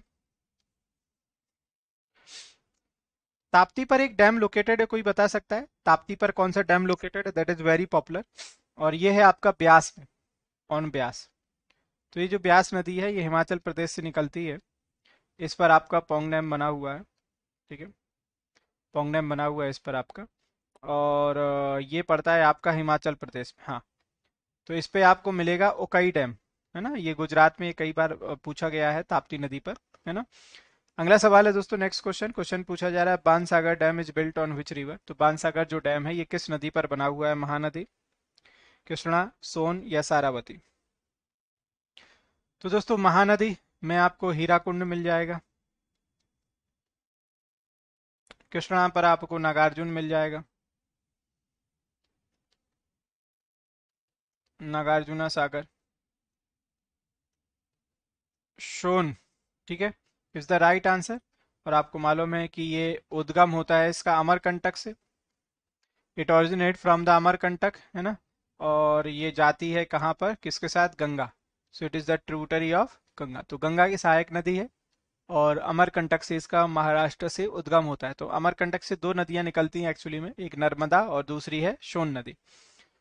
और सारावती तो आपको मालूम है दोस्तों कि ये कर्नाटक पर स्थित है और इसी पर आप जोग या गरसोपा वाटरफॉल के बारे में पढ़ते हैं, जो भारत का सबसे ऊँचा वाटरफॉल है, ठीक है? हाईएस्ट वाटरफॉल ऑफ़ इंडिया जोग या गरसोपा, जो कहाँ पर है? कर्नाटक में, सारावती रिवर में, ठीक है? चलिए, अगला सवाल है।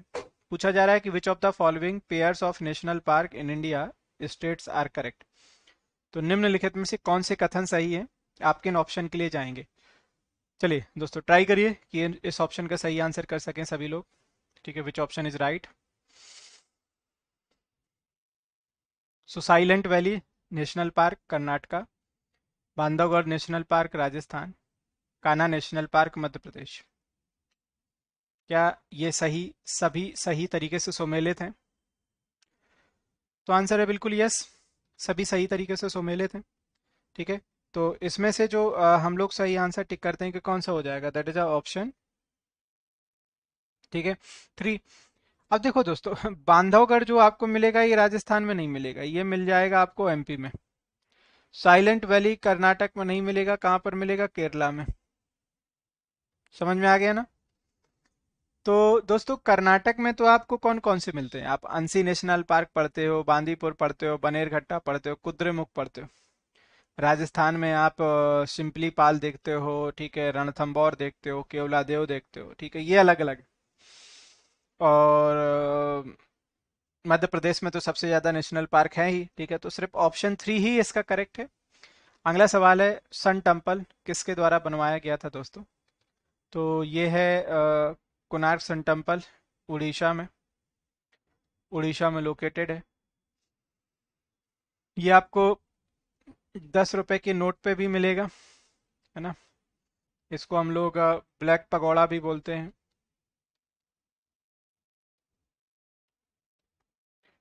और ये बनवाया था built during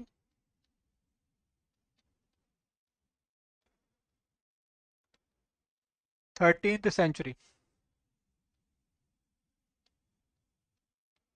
by Ganga dynasty इस डायनेस्टी याद रखिएगा गंगा डायनेस्टी हाँ जिसका जो राइट आंसर है वो है राजा नरसिम्हा देवा प्रथम। ठीक है, नरसिम्हा देवा प्रथम दोस्तों, ठीक है? चलिए, अगला सवाल है। पूछा जा रहा है कि Gangtok is the capital of? तो दोस्तों एक राज्य है क्योंकि स्टैब्लिश हुआ था। थर्टी सिक्स अमेंडमेंट आपने पढ़ा होगा 1975 में। और इसकी सबसे लीस्ट पॉपुलेशन है। और आप कह सकते हैं कि फ़र्स्ट ऑर्गेनिक स्टेट है ये।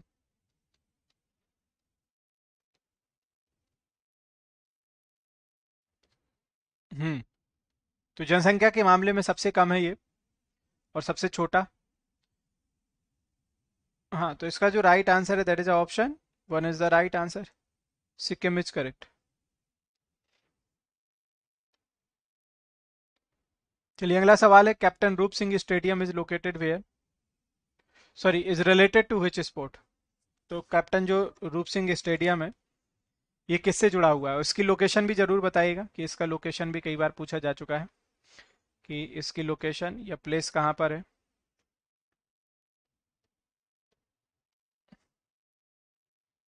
तो वॉलीबॉल है क्रिकेट है एथलेटिक्स है या फिर hockey which one is right captain Roop Singh की बात कर रहे हैं हम लोग। ये कई बार एग्ज़ाम में आ चुका है।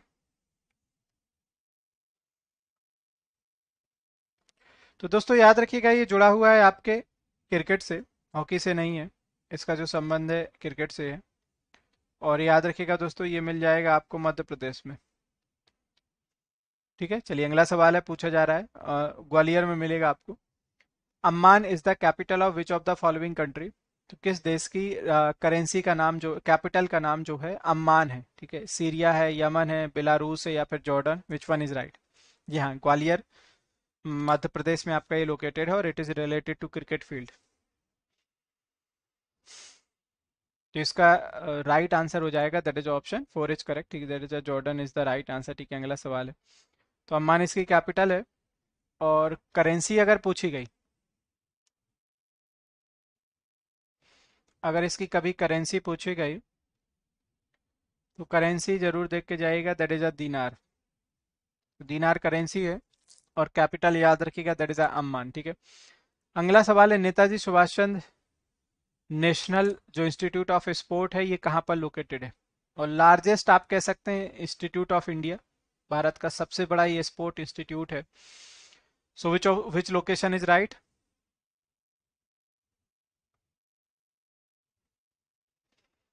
तो इस क्वेश्चन में जो राइट right आंसर हो जाएगा मित्रों ठीक है? That is option second is correct that is a Patiala is the right answer next question है दिलवाड़ा टेंपल कहाँ पर स्थित है दोस्तों? सो so, दिलवाड़ा तो बहुत पॉपुलर है।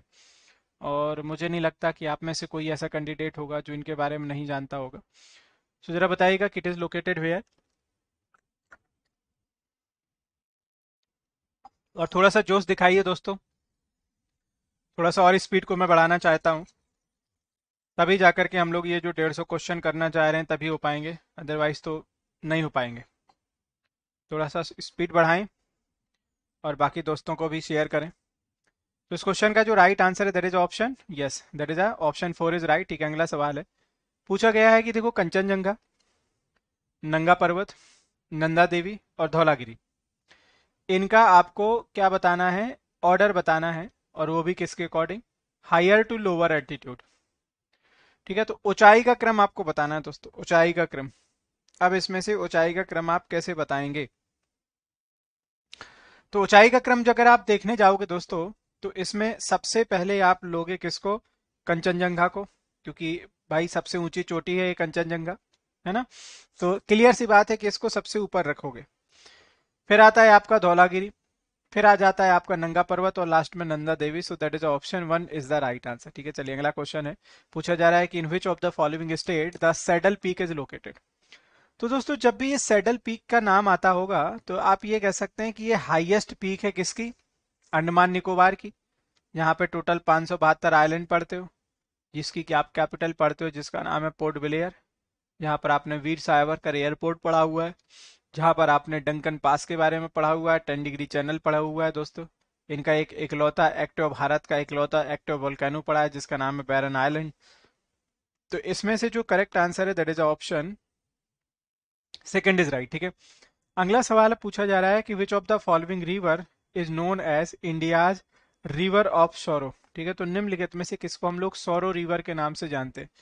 तो दोस्तों, इसमें से कई नदियाँ हैं जो बिहार का सौरव है, कोई आप देखोगे कि बंगाल का सेंगो सौरव है, कोई आप देखोगे कि उड़ीसा का सौरव है। तो बिहार का अगर सौरव देखोगे तो कोसी, पहले होती है सप्त कोसी नेपाल से इसका उद्गम होता है। फिर सप्त कोसी के बाद बनती है त्रिवेणी, फिर बन जाती है कोसी। तो कोसी अपने साथ बहुत सारा सेडिमेंट लेकर के आती है फ्लो करते हुए, और जब ये मैन कोर्स चैनल तक पहुँचती है, ग्राउंड तक तो उस सेडिमेंट को फैला देती है, जिससे इसका मैन कोर्स चैनल फुल हो जाता है और इसका पानी इधर से उधर डायरेक्शन में भागने लगता है। फिर दूसरा है आपका कौन सा? बंगाल का तो बंगाल की दामोदर है। बंगाल में हम लोग दामोदर के बारे में पढ़ते हैं, और उड़ीसा की जो है, वो याद रखिएगा, महानदी है। हम्म हम्म चलिए अगला सवाल है।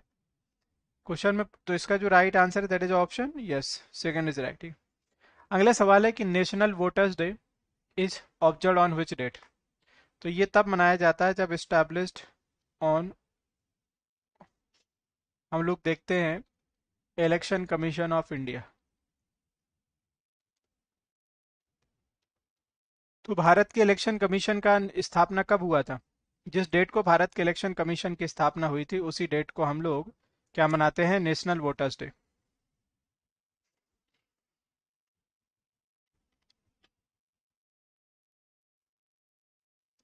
इस क्वेश्चन का जो राइट आंसर हो जाएगा there is a twenty five Jan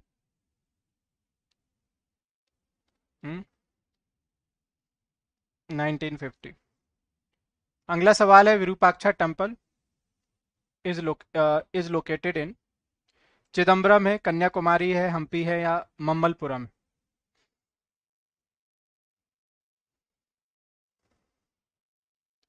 So option third is correct और आपको मालूम है कि हम्पी आपका कर्नाटक में है और किससे जुड़ी हुई है? So it is related to Vijayanagara dynasty तो विजयनगर डायनेस्टी से जुड़ी हुई है और पचास रुपए के नोट में आपको ये मिलेगा।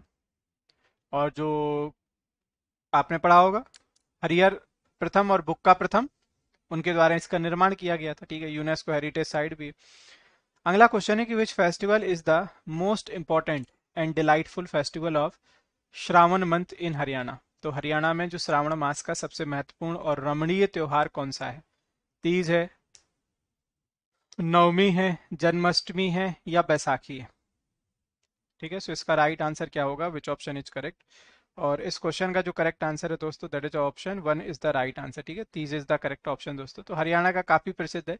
तीज वैसे आप देखोगे तो राजस्थान का भी बहुत प्रसिद्ध है, ठीक है? तो जो तीज है ना, ये राजस्थान में भी आपको बहुत बड़े लेवल पे देखा जाएगा। अगला सवाल पूछा जा रहा है कि which is the highest dam in Uttar Pradesh तो दोस्तों उत्तर प्रदेश का सबसे ऊँचा डैम कौन सा है? माता टीला बाँध है और अदवा बाँध है, मेजा बाँध है या फिर रिहंद बाँध है। सो so, इसमें से हम लोग किस ऑप्शन पे जाएँगे? वन होगा टू होगा थ्री होगा या फिर फोर ठीक है? और इस क्वेश्चन का जो सही आंसर है that is option one is the right answer Rihand परियोजना ठीक है?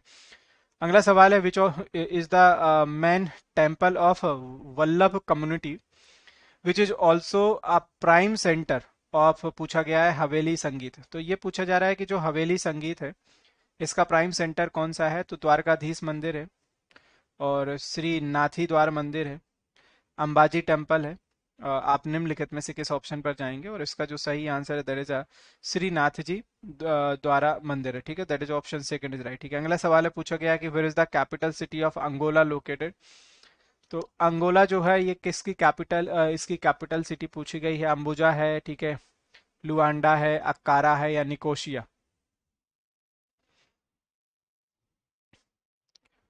और इसका जो राइट आंसर है that is option three is right that is a Luanda ठीक है, चलिए अगला सवाल है। Which of the following wetlands are designated as the Ramsar site तो आपको मालूम है कि जो रेमसर कन्वेंशन है, ये हुआ था सेकेंड फेब 1971 में। सबसे पहले ईरान के शहर रेमसर में, ईरान रेमसर में। और अब विश्व की बहुत सी ऐसी रेमसर साइट हैं जो डिक्लेयर तो की गई थी, लेकिन ये खत्म हो चुकी है।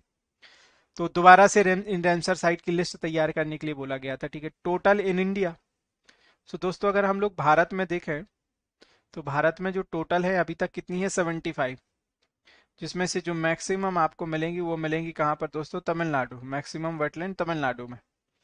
अब हम लोग टारगेट लेकर के चल रहे हैं कि आगे आने वाले समय में हमने और भी वेटलैंड बनाने हैं. और भारत का जो सबसे पहला वेटलैंड अगर कभी पूछा गया तो सबसे पहला याद रखिएगा, एक है केवला देव और दूसरा है चिल्का। ये भारत के सबसे पहले वेटलैंड है। सबसे छोटा जो वेटलैंड है, याद रखिएगा रेणुका है, हिमाचल प्रदेश का, ठीक है? और सबसे बड़ा जो है, वो है सुंदरवन डेल्टा, ठीक है? सो इसका जो राइट आंसर है ऑप्शन फोर ठीक है? चलिए, अगला सवाल देखिएगा जरा, बताइएगा कि इसका राइट आंसर क्या होगा विच ऑप्शन इज़ करेक्ट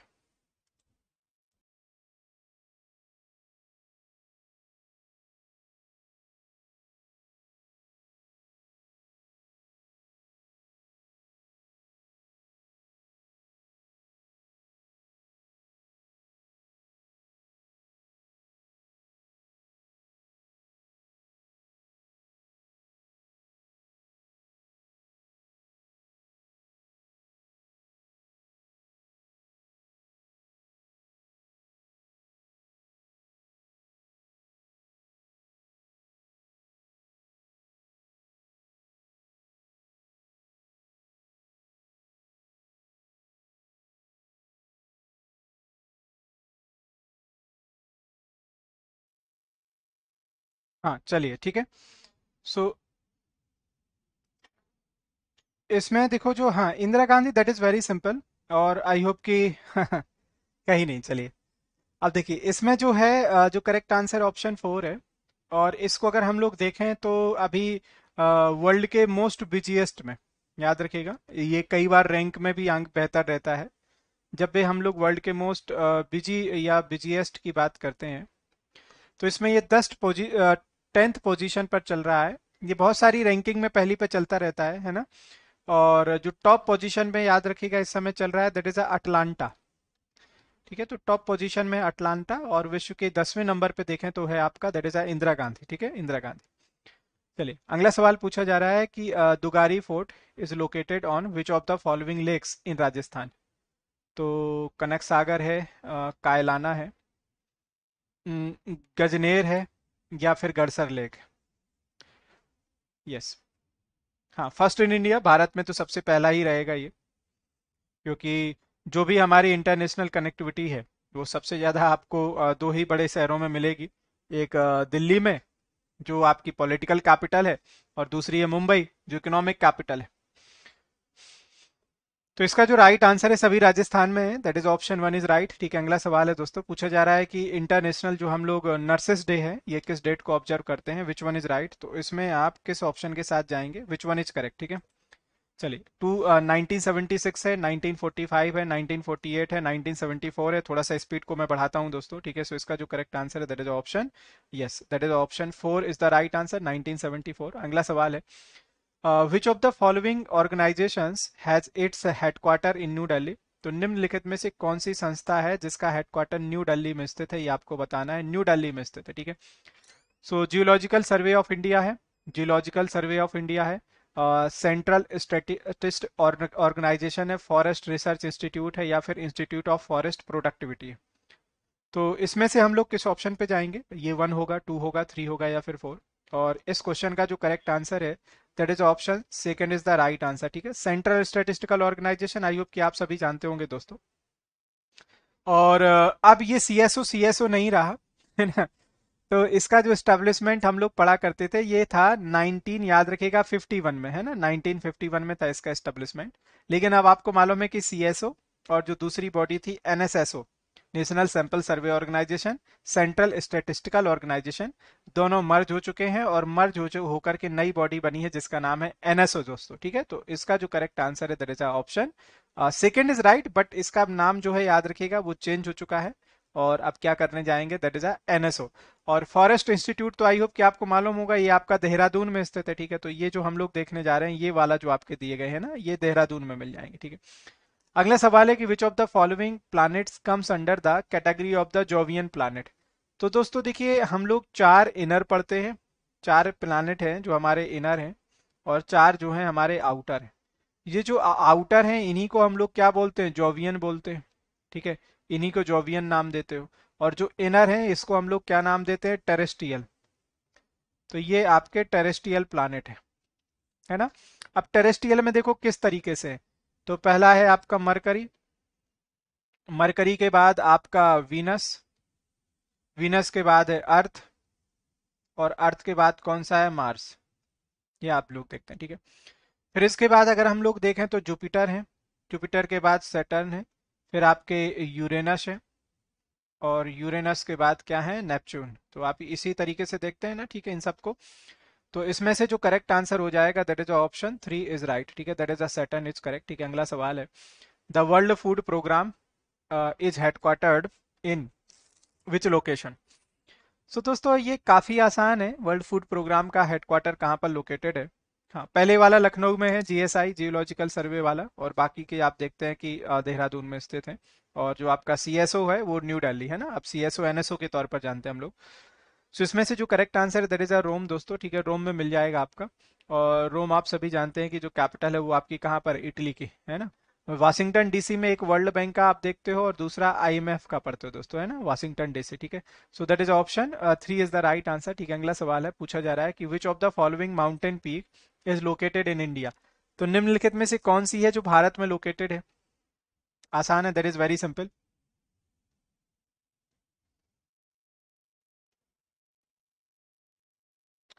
हाँ डेफिनेटली काफ़ी क्वेश्चन से देखो कभी कभी क्या होता है कि हम लोग जब किसी क्वेश्चन को कर रहे होते हैं ना तो उसके साथ जो एक्स्ट्रा और एडिशनल डिटेल होती है, वो ऑलरेडी इंक्लूडेड रहती है और उससे चीज़ें कवर होती हैं। तो याद रखिएगा, ये जो हम लोग देखते हैं, आपको कहाँ पे मिलेगी? कामेट में, बाकी सब आपको मिल जाएँगी कहाँ पर? नेपाल वाले भाग में। ठीक है सो इसका जो right answer that is option four is correct ठीक है? माउंट एवरेस्ट भारत में नहीं है दोस्तों, क्योंकि माउंट एवरेस्ट अगर भारत में होता तो भारत की सबसे ऊँची चोटी माउंट एवरेस्ट होती। माउंट जो कंचनजंगा है वो भारत की सबसे ऊँची चोटी है। तो माउंट एवरेस्ट भारत का हिस्सा नहीं है। हाँ माउंट एवरेस्ट की अगर हम लोग बात करने जाए दोस्तों तो याद रखिएगा ये विश्व की सबसे ऊँची चोटी है उसको सागर माथा हम लोग बोलते हैं ठीक है? डीआरडीओ की जो एस टी ए बी और uh, की क्लासेस थी वो आपकी कंप्लीट हुई हैं प्रवीण। ऑलरेडी प्लेलिस्ट बनी हुई है आप उसमें भी बहुत सारे सेशन है देख सकते हैं। और बाकी आप इनको भी अटेंड करिए यहाँ से भी बहुत बेनिफिट मिलेगा आपको डीआरडीओ के लिए ठीक है? नाउ नेक्स्ट क्वेश्चन क्वेश्चन में पूछा जा रहा है कि इडुक्की डैम कहाँ पर है दोस्तों? तो ये तो देखो बहुत सिंपल है। आप इडुक्की डैम पढ़ो, है ना? या फिर आप किसको देखो? वेम्बनाड लेक तो आपने वेम्बनाड लेक के बारे में सुना होगा, है ना? या फिर आप देखने जाओ किसके बारे में दोस्तों? ओनम के बारे में आप पढ़ो, या फिर आप कथकली के बारे में पढ़ो, है ना? या फिर आप देखो साइलेंट वैली तो साइलेंट वैली के बारे में पढ़ो, है ना? या फिर आप देखो कौन सा है? सबरीमाला टेंपल सबरीमाला टेंपल तो इस क्वेश्चन का जो राइट आंसर है, that is option four is correct, ठीक है? Periyar is the right answer, ठीक है? चलिए, अगला सवाल देखो, देखते हैं दोस्तों, है ना? तो महानदी में तो आपको मालूम है कि हीराकुंड है है ना? और कृष्णा में आपने पढ़ा है नागार्जुना सागर, ठीक है? अगला सवाल है, पूछो जा रहा है कि which of the following mountain is an example हाँ ये सब कहाँ पे हैं आपके? केरल की ही बात कर रहे थे ना? मैं जितने भी ये लिख करके आया हूँ, सब कहाँ से जुड़े हुए हैं? केरला? तो सब केरल से जुड़े हुए हैं, ठीक है? निम्नलिखित में से कौन सा पर्वत अरावली पर्वतमाला का उदाहरण है? तो अरावली दोस्तों, आपको मिलेगा राजस्थान। अरावली है, ये याद रखिएगा, राजस्थान। और इसकी सबसे ऊँची चोटी, वो आपको बतानी थी। यस। सो so, जो भी लोग नए लोग जुड़ते चले जा रहे हैं ठीक है दोस्तों सभी का सभी को ग्रीटिंग सभी का वेलकम सभी को नए साल की शुभकामनाएँ। और यस सेशंस को रेगुलर टाइम पे अटेंड करने का प्रयास किया करिए। और सभी लोग अपनी अटेंडेंस ज़रूर मार्क करते चले जाएँ सेशन को लाइक करके ठीक है। सो so, इसका जो करेक्ट आंसर है that is option three is the right answer ठीक है। रेसिडुअल माउंटेन है ये दोस्तों ठीक है रेसिडुअल माउंटेन है ठीक है। अगर आप डेक्कन ट्रैप की बात करोगे तो आपको वॉल्केनिक माउंटेन मिलेंगे। हिमालय हमारा यंग आपको मालूम है कि फोल्डेड माउंटेन है, ठीक है? So that is option three is the right answer और इसकी आप जो सबसे ऊँची चोटी देखते हो, याद रखिएगा गुरु शिखर। ये कई बार पूछी गई है, इसकी जो सबसे ऊँची चोटी है that is the Guru Shikhar, ठीक है? अगला सवाल देखिएगा, पूछा जा रहा है कि which one of the following research institute not correctly match तो निम्नलिखित में से कौन सा रिसर्च इंस्टीट्यूट है, जो पूरी तरीके से सही सुमेलित नहीं है? कौन सा रिसर्च इंस्टीट्यूट है, जो पूरी तरीके से सही सुमेलित नहीं है?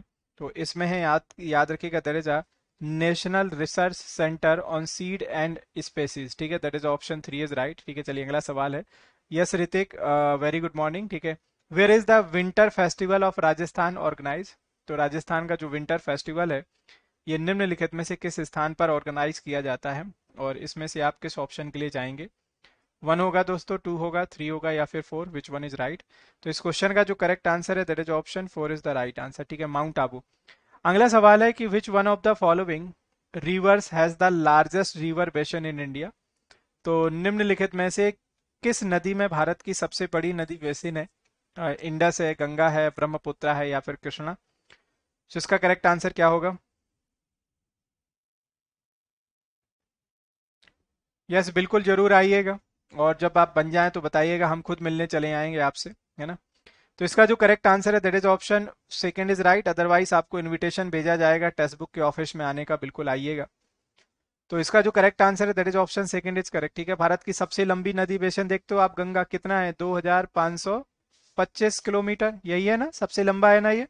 अच्छा अगर सबसे स्मॉलेस्ट पूछा गया स्मॉलेस्ट की भारत की सबसे छोटी नदी कौन सी है दोस्तों? तो याद रखिएगा that is the Arvari river ठीक है? ये अरवरी रिवर है या अरुवेरी रिवर इस तरीके से हम लोग बोलते हैं इसको। और ये आपको मिलेगी कहाँ पर? राजस्थान में। तो भारत की सबसे छोटी नदी है, वो है अरवरी रिवर और सबसे बड़ी नदी कौन सी है? That is a Ganga. ठीक है? अगला सवाल पूछा जा रहा है कि in which of the following state क्या है आपका? हाँ आपातानी ट्राइब इज़ फाउंड तो भारत के किस राज्य में ये जनजाति पाई जाती है? अब देखो, आपको ऑलरेडी बताया है कि जब ट्राइब से रिलेटेड सवाल होते हैं ना तो इन सवालों को बहुत ही सावधानी से कवर करना होता है। ठीक है? Yes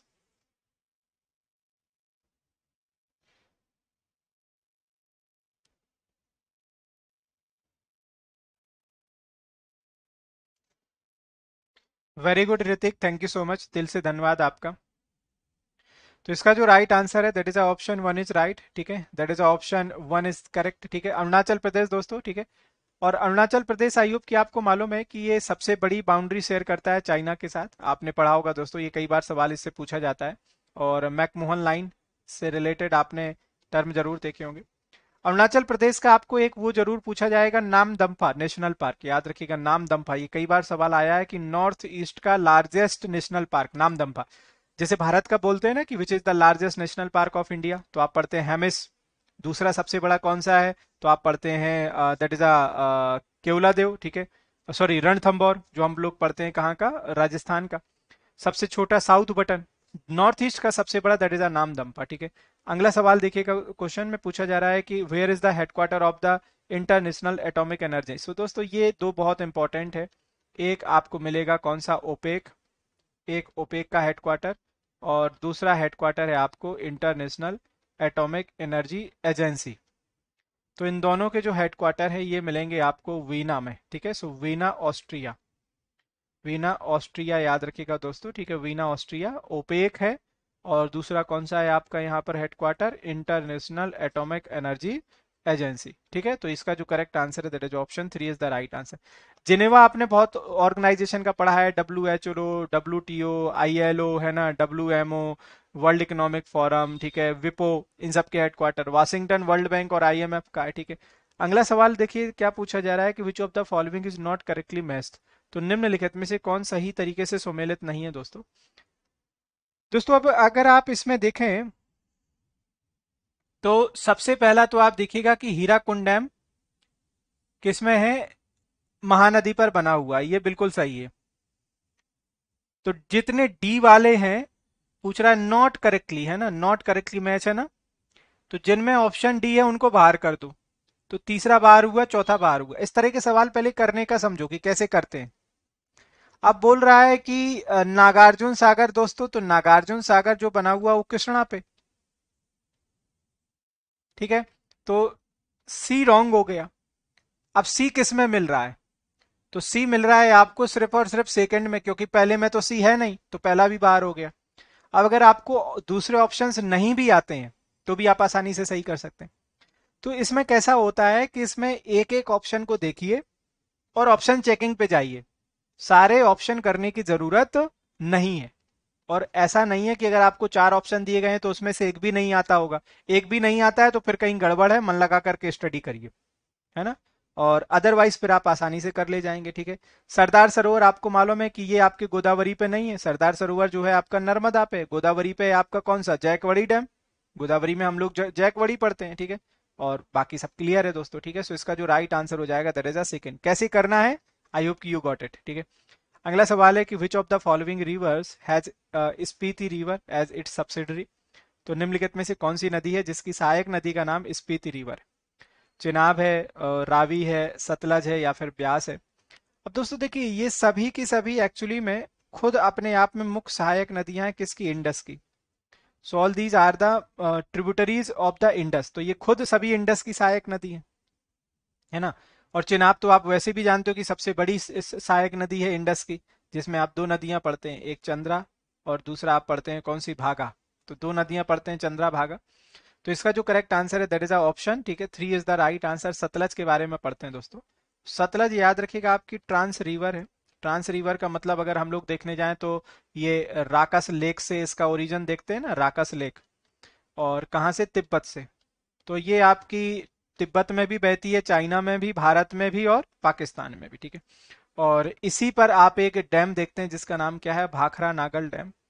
तो दोस्तों, ये याद रखिएगा, ये भारत का सबसे बड़ा डैम है भाखरा नागल डैम, है ना? भारत का सबसे बड़ा डैम है। चलिए, अगला सवाल देखेंगे हम लोग, नेक्स्ट क्वेश्चन। क्वेश्चन में पूछा जा रहा है कि which dam is the first hydro electric project of Madhya Pradesh तो कौन सा बाँध मध्य प्रदेश की पहली जल विद्युत परियोजना है? सरदार सरोवर। सरदार सरोवर नर्मदा का भाग है, जिसमें आपको इंदिरा सागर परियोजना मिल जाएगा, बरगी परियोजना मिल जाएगी। बाँध सागर सोन रिवर पे बनी हुई है, गांधी सागर चंबल पे बिल्कुल सही है, माता टीला बाँध जो है, क्या लिखा गया बेतवा सो दोस्तों, याद रखिएगा that is option three is the right answer Gandhi Sagar, जो आपका किस पे बना हुआ है, चंबल। तो चंबल पे आपको गांधी सागर मिलेगा, याद रखिएगा, बहुत इंपॉर्टेंट है अपने आप में, राणा प्रताप सागर भी मिल जाएगा, ठीक है? और चंबल नदी दैट इज़ वेरी पॉपुलर ठीक है? कोटा जो है, शहर इसी के किनारे लोकेटेड है। अगला सवाल पूछा जा रहा है कि what is the name of the river formed by the confluence of Sankh river and south Koel river ठीक है? एट उड़ीसा तो पूछा गया है कि ये जो संख नदी है और साउथ कोयल नदी के संगम से बनने वाली नदी का नाम क्या है? ये दोनों मिलकर के किस नदी का निर्माण करती हैं? तो ये दोनों मिलकर के निर्माण करती हैं किसका? ब्रह्माणी नदी का, ठीक है? That is option one is the right answer अब देखो, ये ऑलरेडी पूछ रहा था कि ये साबरमती तो हो नहीं सकता था तो क्योंकि साबरमती आप किसमें पढ़ते हो? गुजरात में पढ़ते हो दोस्तों, ठीक है? अगला सवाल पूछा गया है कि कंदरिया महादेव का मंदिर स्थित कहाँ पर है? सो दोस्तों, कंदरिया महादेव जो बनाया गया था, याद रखिएगा कह सकते हैं कि बिल्ड बाय चंदेला रूलर तो जब हम लोग बात करते हैं किसके बारे में? चंदेला शासकों के बारे में चंदेरा रूलर्स के बारे में हम लोग दोस्तों बात करते हैं। तो उससे रिलेटेड है कंदरिया महादेव और बहुत ही प्रसिद्ध है, याद रखिएगा। इसमें नगर आर्किटेक्चर का इस्तेमाल किया गया। किसका? तो याद रखिएगा it is use as a Nagar architecture ठीक है? तो इसमें नगर आर्किटेक्चर का इस्तेमाल किया गया है। उसी के बारे में आपको बताना है। तो इसमें से जो सही आंसर है that is option second Khajuraho. और आई होप कि आपको खजुराहो मालूम होगा कि it was the capital of the Chandela rulers तो ये चंदेला शासकों की ये कैपिटल रह चुकी है।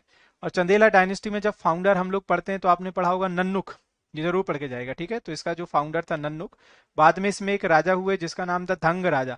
तो धंग राजा ने अपनी कैपिटल महोबा से शिफ्ट कर दी कहाँ पर? खजुराहो, और इन्होंने कंदरिया महादेव का निर्माण किया, ठीक है दोस्तों? चलिए अगला सवाल है।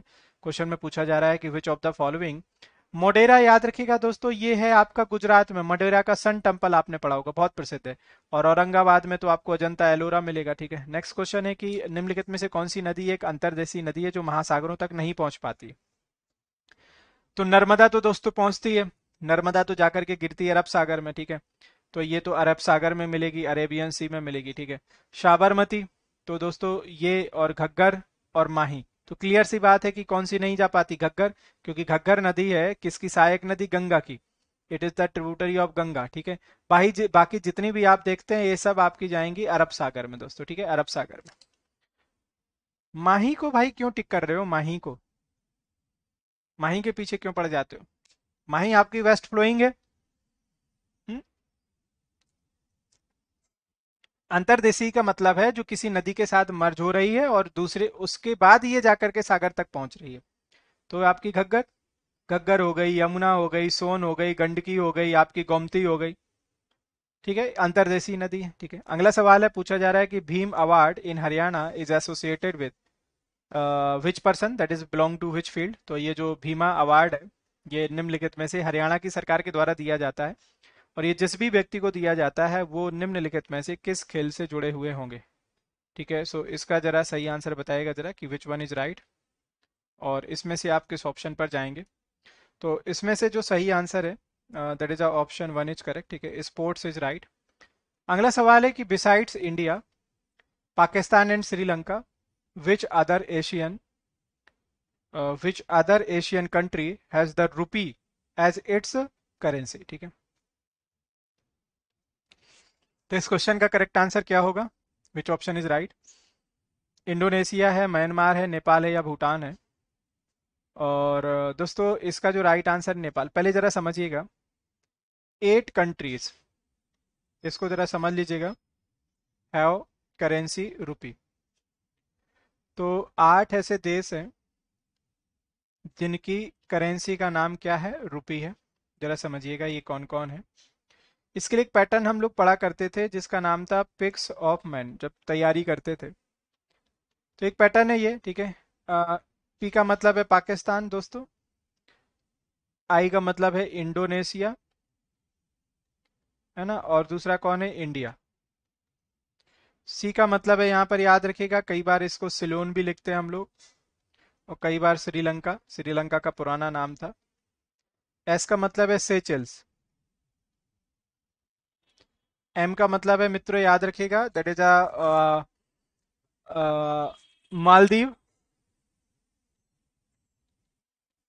और दूसरा है कौन सा? मॉरिशस और एन का मतलब क्या है? नेपाल है। समझ में आ गया? तो ये टोटल आठ देश हैं जिनकी करेंसी का नाम क्या है? रुपया। याद रहेगा दोस्तों सभी का? Pattern picks of man everyone Pakistan India Indonesia Sri Lanka Seychelles Maldives Mauritius और नेपाल ठीक है? दैट इज़ वेरी क्लियर ठीक है? सो चलिए. भाई आई होप कि सब कुछ क्लियर है दोस्तों, है ना? तो अन्य देशों में तो इंडोनेशिया भी इंक्लूडेड है. तो एक्चुअली में जो राइट right आंसर हो जाएगा दोस्तों यहाँ पर that is a one and three तो वन एंड थ्री ठीक है? तो इसके ऑप्शन जो हैं, ये थोड़े रॉन्ग दिए गए हैं. मे भी कहीं ना कहीं सवाल में गलती है कंप्यूटर जी से. तो इसमें वन भी सही होगा और थ्री भी सही होगा. ठीक है? चलिए, अगला सवाल है। Parasnath hill, a range of hill located in Jharkhand is an example of his type of mountain ठीक है तो जरा बताएगा कि इसका सही आंसर क्या होगा। और आप किस ऑप्शन के लिए जाएँगे? वन होगा टू होगा थ्री होगा या फिर फोर तो आप निम्नलिखित में से किस ऑप्शन पे टिक करेंगे?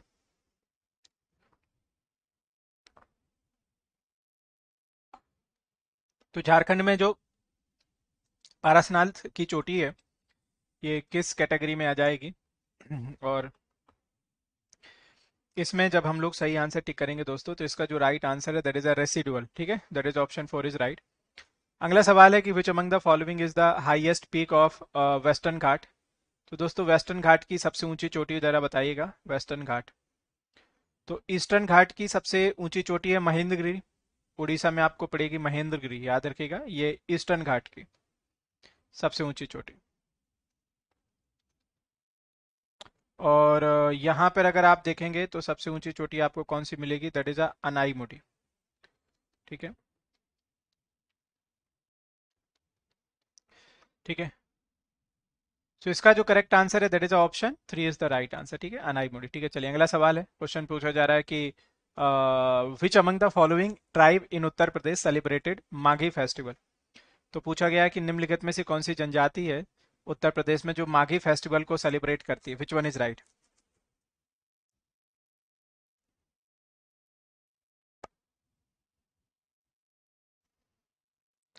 हाँ कर सकते हैं बिल्कुल कर सकते हैं।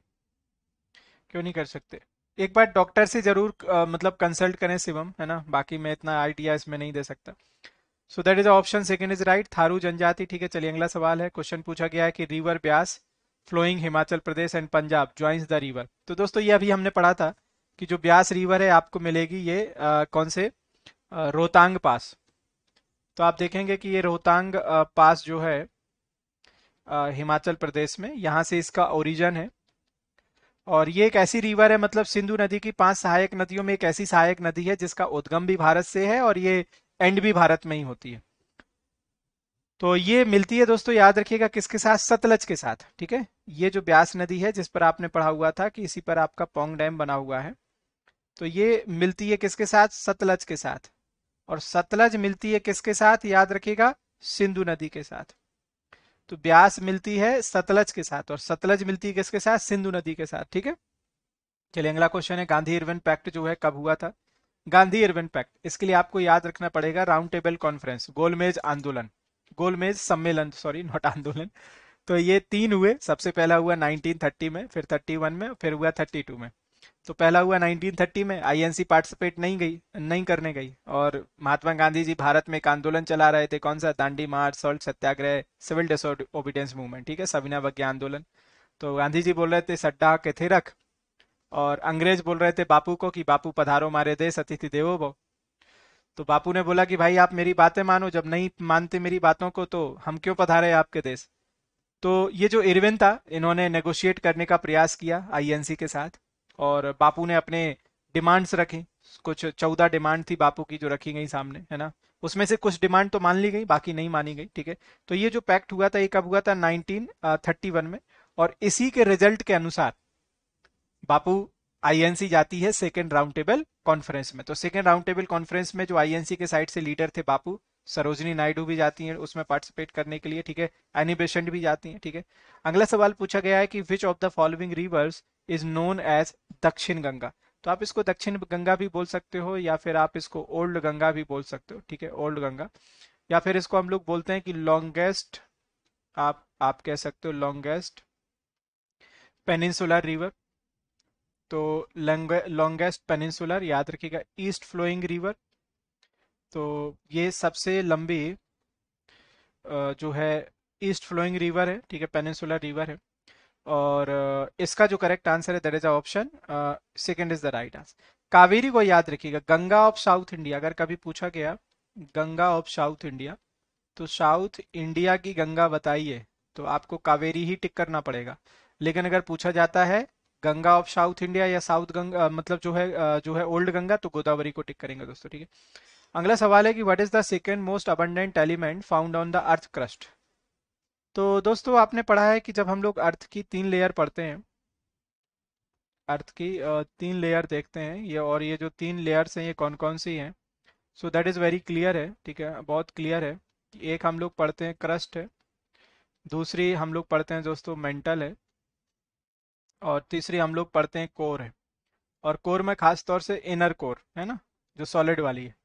तो क्रिस्ट में है सिलिका प्लस एल्यूमिनियम, मेंटल में है सिलिका प्लस मैग्नीशियम, और इनर कोर में याद रखिएगा आयरन प्लस निकल।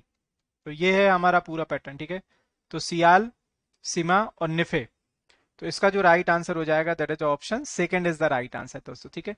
अगर आपको कभी पूछता कि स्पेस में ठीक है?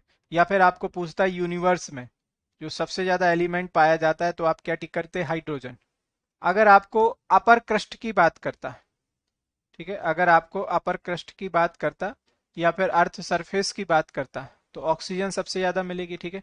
अगला सवाल पूछा जा रहा है कि the pH of human blood is तो मानव का शरीर, मानव का जो रक्त होता है, वो बेसिक होता है मतलब बेस होता है एसिडिक होता है। या फिर आ, आ, मतलब आप इसमें बेस के टिक करने जाएँगे which one is right so इसका राइट आंसर क्या हो जाएगा? वेरी गुड सुधांशु बहुत अच्छा रावत साहब ठीक है? तो इसका जो करेक्ट आंसर है that is option four is the right answer ठीक है? भाई पार्ले जी आप चले कहाँ जाते हैं? और आप लगातार जब चले जाते हैं तो लोग आपको भूल जाते हैं फिर गुड्डे और क्रैक जैक वगैरह खरीदना शुरू कर देते हैं। तो लगातार आइए पब्लिक आपको पहचानती रहेगी और बिज़नेस वगैरह अच्छा चलेगा आपका।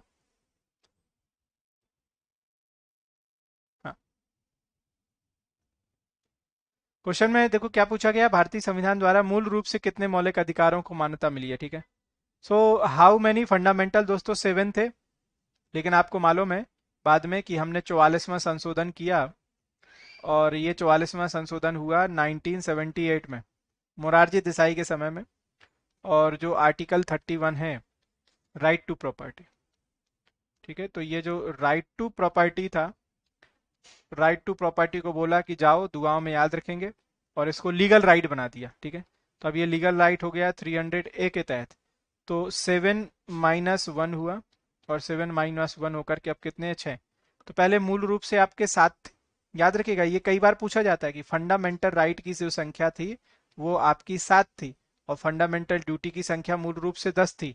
तो ड्यूटी बढ़कर के ग्यारह हुई है और फंडामेंटल राइट घट करके छह हुए तो राइट कम हुए हैं और ड्यूटी बढ़ गई है ठीक है? अगला सवाल है economic planning in India is जरा बताइएगा ये किसमें इंक्लूडेड है? यूनियन uh, लिस्ट का भाग है स्टेट लिस्ट का भाग है या फिर कौन करेंट का? मतलब इस पर दोनों सरकारें कानून बना सकती हैं क्या? केंद्र और राज्य या फिर सिर्फ़ राज्य या फिर सिर्फ़ केंद्र? विच वन इज़ राइट दोस्तों? तो इसका जो करेक्ट आंसर है that is option three is the right answer कौन करेंट लिस्ट है दोस्तों। और कौन करेंट में याद रखिएगा टोटल सिक्सटी वन सब्जेक्ट्स होते हैं। कितने होते हैं? सिक्सटी वन सब्जेक्ट्स होते हैं।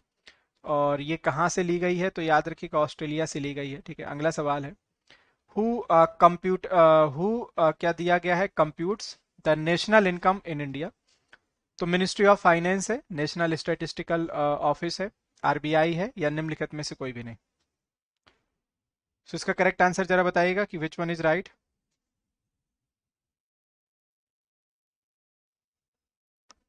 तो इसका जो करेक्ट आंसर है that is option second is correct ठीक है तो यही निकालता है दोस्तों, याद रखिए, कई जगह पर आपको सीएसओ भी मिलता है तो अगर सीएसओ ऑप्शन है एनएसओ नहीं है तो सीएसओ लगा दो। या फिर अब सी एस ओ और प्लस आपको हमने पढ़ा था कि एन एस एस ओ को दो को मर्ज कर दिया गया और क्या बन चुका है एन एस ओ तो कई जगह पर अभी सी एस ओ भी मिलता है, लेकिन ज़्यादातर में एन ही मिलेगा आपको। अगला सवाल है कि who among the following conduct the oath of the office of the president of India बेहतरीन सवाल। तो जो पंद्रहवें राष्ट्रपति बनी है द्रौपदी मुर्मू, है ना? पहली ट्राइबल वोमेन दूसरी महिला राष्ट्रपति, सबसे यंगेस्ट वोमेन बनी हुई है इस समय। शपथ कौन दिलाता है? तो प्रेसिडेंट को शपथ कौन दिलाएगा? प्रेसिडेंट को शपथ वही दिलाएगा भाई साहब जो सीजीआई होगा हमारे देश का, ठीक है? तो हमारे देश का जो सीजीआई होता है, वो शपथ दिलाता है प्रेसिडेंट को। और सीजीआई हुआ, सुप्रीम कोर्ट के जजेस हुए, इन सबको नियुक्त करता है और शपथ दिलाता है हमारा राष्ट्रपति, ठीक है? चलिए, ऑप्शन थर्ड इज़ करेक्ट, ठीक है? अगला सवाल है, सैयद वंश का फाउंडर कौन था? तो दोस्तों, आपने एक सैयद डायनेस्टी देखी होगी, जब भारत में एक हमला होता है, किसका? तैमूर लंग का। तो तैमूर लंग भारत में हमला करता है तेरह में। और दीपालपुर का एक गवर्नर होता है, ये पहले से ही ऑलरेडी देखा जाए तो तुगलक डायनेस्टी के समय में ये गवर्नर था। और बाद में ये जो खिज्र खां होता है, खिज्र खां ठीक है, तैमूर लंग के बाद जैसे ही दिल्ली सल्तनत, तुगलक सल्तनत कमज़ोर होती है तो उसका ये फ़ायदा उठाता है। और ये 1414 में याद रखिएगा, लेकर के चौदह तक किसकी स्थापना कर देगा? सैयद वंश की। इसलिए जब बाबर आते हैं तो भारत पे अपना वांशिक अधिकार दिखाते हैं। बाबर कहते हैं कि भाई साहब, देखो, हमारे पुरखों ने भारत पे हमला किया था और उनका शासन था तो हम ही यहाँ पर शासन करेंगे। इब्राहिम लोधी को चिट्ठी और पत्र भेजते हैं, है ना? और इब्राहिम लोधी उसको नहीं मानता है, बोलता है, ऐसा कुछ भी नहीं है, ठीक है? चलो, पानीपत के युद्ध में दो दो हाथ हो जाए, और पानीपत का प्रथम युद्ध होता है, जिसमें इब्राहिम लोधी की पराजय होती है, और फाइनली मुगल वो किंगडम आ जाता है भारत। में अगला सवाल है कि through how many Indian state to the Himalaya passes बहुत ही बेहतरीन सवाल दोस्तों। हिमालय भारत के कितने राज्यों से पास होता है? ये आपको बताना है। ठीक है तो अब मन की आँखों से अगर आपने इसको पढ़ा होगा तो आप आसानी से कर पाएँगे अदरवाइज़ नहीं कर पाएँगे। तो पार्ले जी और कैप्टन मॉर्गन ने सबसे पहले आंसर कर दिया है। आयुसी का भी आंसर आ चुका है। और लगता है कि आज एकदम आज सब जेंटलमैन भर के आए हैं कि सही सही आंसर करना है। So that is option four is correct दोस्तों। तो याद रखिएगा, जो ये राज्य हैं, ये सभी यहाँ पे दिए गए हैं। जम्मू कश्मीर है, लद्दाख है है ना? अब यूटी में बदल गए हैं तो अब थोड़ा सा चेंज होना पड़ेगा यहाँ पर, है ना? और फिर उत्तराखंड है, हिमाचल प्रदेश है, अरुणाचल प्रदेश है मणिपुर है, मेघालय है, मिजोरम है, नागालैंड है, सिक्किम है, त्रिपुरा है, आसाम है, वेस्ट बंगाल। तो आप कह सकते हैं कि इलेवन स्टेट्स ठीक है? अब वर्तमान में आपको करना पड़ेगा प्लस टू यूटीज तो दो यूनियन टेरिटरीज हैं और टोटल ग्यारह राज्य हैं आपके, ठीक है? नाउ नेक्स्ट क्वेश्चन है कि which of the following is the oldest Veda so दोस्तों, चार वेद पढ़ते हैं हम लोग। चार वेद, अठारह पुराण, ठीक है? वन ज़ीरो एट उपनिषद, चार उपवेदाज, चार वर्ण सिस्टम है ना? आप पढ़ते हैं ना? चार आश्रम और छह वेदांग, छह दर्शन। ये पैटर्न याद रखिएगा, ठीक है? सूर्यवेद सबसे पुराना वेद टोटल दस मंडल ठीक है? कितने पढ़ते हैं हम लोग टोटल दस मंडल पढ़ते हैं दोस्तों, है ना? याद रखिएगा। और सुक्ताज की संख्या कितनी है? एक हज़ार अट्ठाईस सुक्ताज हम लोग देखते हैं इसमें। और जो इसका थर्ड मंडल है, वो किसको डेडिकेटेड है? आपने पढ़ा होगा ओम भूर्वा स्वाहा, है ना? जो गायत्री चंट है डेडिकेटेड चैंट है that is dedicated to the lord sun और कंपोज बाय द विश्वामित्र ठीक है? अगला सवाल है who regulate the money market दोस्तों? तो मनी मार्केट को कौन रेगुलेट करता है? Which one is right so so, दोस्तों मनी मार्केट की अगर हम लोग बात करने जाएँ that is regulated by RBI और जो सेबी होता है याद रखिएगा ये रेगुलेट करता है कैपिटल मार्केट तो भारत का स्टॉक मार्केट हो गया कैपिटल मार्केट हो गया म्यूचुअल फंड हो गया ठीक है कॉमोडिटी मार्केट हो गया ये सब रेगुलेट करता है सेबी और नाबार्ड जो होता है याद रखिएगा दोस्तों क्या रेगुलेट करता है आज के समय में? तो नाबार्ड जो एग्रीकल्चर क्रेडिट्स होते हैं उनको रेगुलेट करता है ठीक है? एफएमसी जो दोस्तों है याद रखिएगा एफएमसी जो है ये 1953 में आया था। एफएमसी जो है ये कॉमोडिटी मार्केट का रेगुलेटर हुआ करता था। ये किसका रेगुलेटर हुआ करता था? कॉमोडिटी मार्केट का। लेकिन ये याद रखिएगा दोस्तों कि अब ये जो है FMC now merge with SEBI. तो इसका जो है मर्जर हो, हो चुका है और ये इसका मर्जर किसके साथ हो गया? सेबी के साथ ठीक है ना? तो अब ये सेबी का ही? पार्ट बन चुका है, ठीक है? तो ये एफएमसी से थोड़ा सा याद रखिएगा। इसमें थोड़ा सा कि कई बार लोग कंफ्यूज हो जाते हैं। तो इकोनॉमी के सवाल आते हैं। मैं आपको फिर से ये बता दूँ डबल ए आई में इकोनॉमी के कम से कम दो और तीन सवाल देखने को मिलते हैं। और इकोनॉमी से लोगों को बहुत डर लगता है, ये मान लो मेरी बात फिक्स करके। इकोनॉमी से ना एकदम लोग हाथ पैर फूल जाते हैं। लेकिन इकोनॉमी सबसे आसान है। अगर आपने एक बार इसकी थ्योरी को पढ़ लिया, समझ लिया तो आपके दिमाग में बस जाएगी और आप आंसर कर सकेंगे। लेकिन अगर इसकी थ्योरी नहीं पढ़ी है तो फिर आप आंसर करना भूल जाइए, आप तुक्का मारते रहेंगे और कुछ नहीं होगा। ठीक है तो जीवन में हम लोग जो पढ़ते हैं, मेहनत करते हैं अपनी खुद की इकोनॉमी बेहतर बनाने के लिए और इकोनॉमी ही पढ़ना नहीं चाहते, ये सबसे बड़ा सवाल रहता है दोस्तों। ठीक है तो आई होप कि इसका राइट आंसर है दैट इज़ ऑप्शन हाँ आठ प्रकार की पाई जाती है, लेकिन जो हमारे लिए मोस्ट इंपॉर्टेंट हम लोग पढ़ते हैं वो कितने प्रकार की होती है? छह। इनमें से जो सबसे बड़ा एरिया कवर करती है वो है आपकी कौन सी?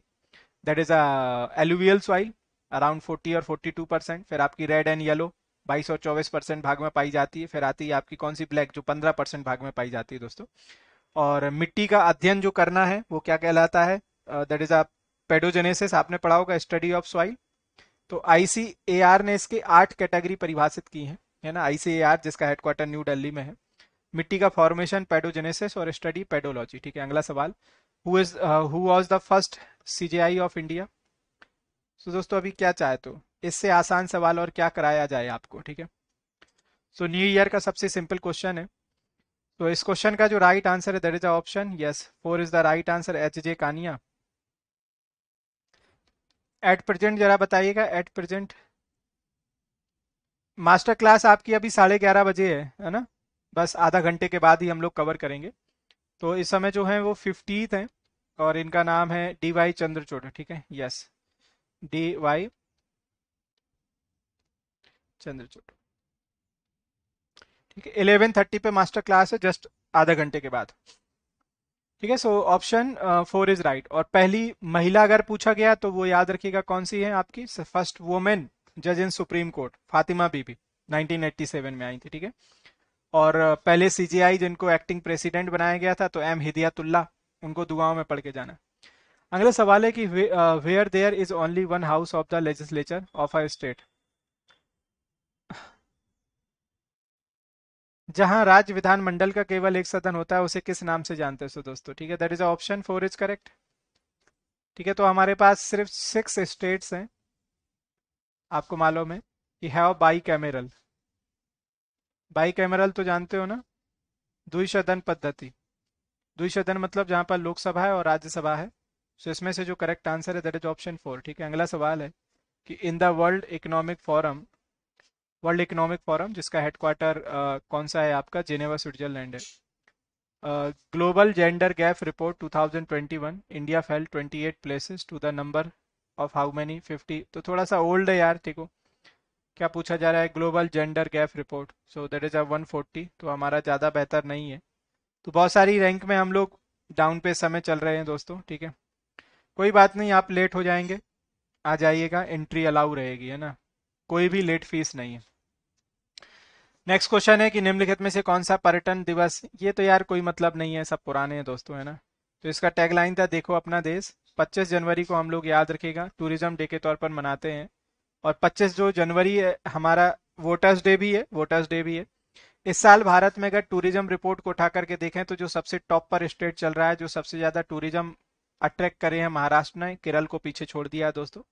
मोस्ट विजिटेड लोकेशन रही है महाबलीपुरम। याद रखिएगा, जो तमिलनाडु का पल्लवा डायनेस्टी का है, group of monument. Domestic tourist की जो सबसे, द्वारा सबसे ज़्यादा जो विजिटेड लोकेशन रही है, वो याद रखिएगा, कौन सा आपका? आगरा का जो ताजमहल है, वो अभी भी यूपी का, डोमेस्टिक टूरिस्ट के द्वारा सबसे ज़्यादा विजिटेड है, ठीक है? अगला सवाल, ये सब पुराने हैं, इसमें जाने की ज़रूरत नहीं। नेक्स्ट क्वेश्चन है कि who discovered the cell in 1665 तो 1665 में कोशिका की खोज किसने की थी? रॉबर्ट हुक है, रॉबर्ट क्रुक है डेविड थॉम्सन है या फिर मैरी फ्रांसिस है। सो so, इसमें से जो करेक्ट आंसर है that is a Robert Crook Hooke is the right answer next question Sri Lanka के राष्ट्रीय खेल को पहचानिए। इंडिया का कोई बताएगा? इंडिया का। नेशनल स्पोर्ट इंडिया का हमारा नेशनल स्पोर्ट क्या है? इंडिया का नेशनल स्पोर्ट दोस्तों श्रीलंका का तो हो गया वॉलीबॉल है ना? इंडिया का बताइएगा तो नन भारत का कोई भी ऑफिशियल स्पोर्ट नहीं है दोस्तों, है ना? अगला सवाल है कि the Brahmaputra river in Tibet is also known as तो ब्रह्मपुत्रा के यार देखो, सब नाम पढ़े हैं हमने। ब्रह्मपुत्रा को हम लोग क्या भी नाम देते हैं? टी सांगपो भी नाम देते हैं। हम लोग इसको रेड रिवर भी बोलते हैं। हम लोग इसको जमुना भी बोलते हैं। है ना? तो यह ब्रह्मपुत्रा के कई नाम है, ठीक है? तो right answer there is option second is correct ठीक है? सो मित्रों, ये था आज का सेशन उम्मीद करता हूँ कि आपको पसंद आया होगा। जैसा भी सेशन लगा है कमेंट सेक्शन सबके लिए ओपन रहेगा, अपना फीडबैक ज़रूर दें। और बाकी पीडीएफ के लिए टेलीग्राम ग्रुप को ज्वाइन कर लें। टेलीग्राम ग्रुप का नाम है सुसर टेक्स्ट बुक ठीक है? बाकी सभी अपडेट्स आपको मेरे इस चैनल पे मिलते रहेंगे। तो लगातार जुड़े रहिए और बाकी आप अपनी प्रिपरेशन के लिए जुड़ सकते हैं text book super coaching courses के साथ। बेहतरीन टीचर्स अनुभवी शिक्षक और बहुत सारा पढ़ने के लिए आपको ऑप्शंस ठीक है? तो चार से ज़्यादा कोर्सेज 200 से ज़्यादा टेस्ट सीरीज़ 100 प्लस नोट्स और लाइव क्लासेस जो भी A JE D R D O S S C I M D और डबल आई टी सी के कोर्सेज सभी पर हाईएस्ट डिस्काउंट डिस्काउंट के लिए यूज़ करें coupon code S H I V K T ज़रूर लगाइए, अपनी हार्ड एंड मनी को सेव करिए। और अभी मिलेंगे हम लोग, दोस्तों, याद रखिएगा मास्टर क्लास में। तो ये जो मास्टर क्लास है, ये डेली होती है सैटरडे और संडे को, ठीक है? तो अभी आपकी रहेगी 11:30 एम पर मास्टर क्लास और रेगुलर डेज़ में होती है आपकी 3 पीएम पर, ठीक है दोस्तों? तो चलिए, मिलते हैं हम लोग मास्टर क्लास में और मुझे ज़रूर बताइएगा कमेंट करके कि आज का सेशन कैसा लगा। वंस अगेन आप सभी को नए साल की शुभकामनाएँ। अच्छा करिए, बेहतर करिए पढ़ते रहिए, मस्त रहिए, खुश रहिए, व्यस्त रहिए, ठीक है? चलिए so thank you so much guys thank you so much and yes as always God bless you all thank you so much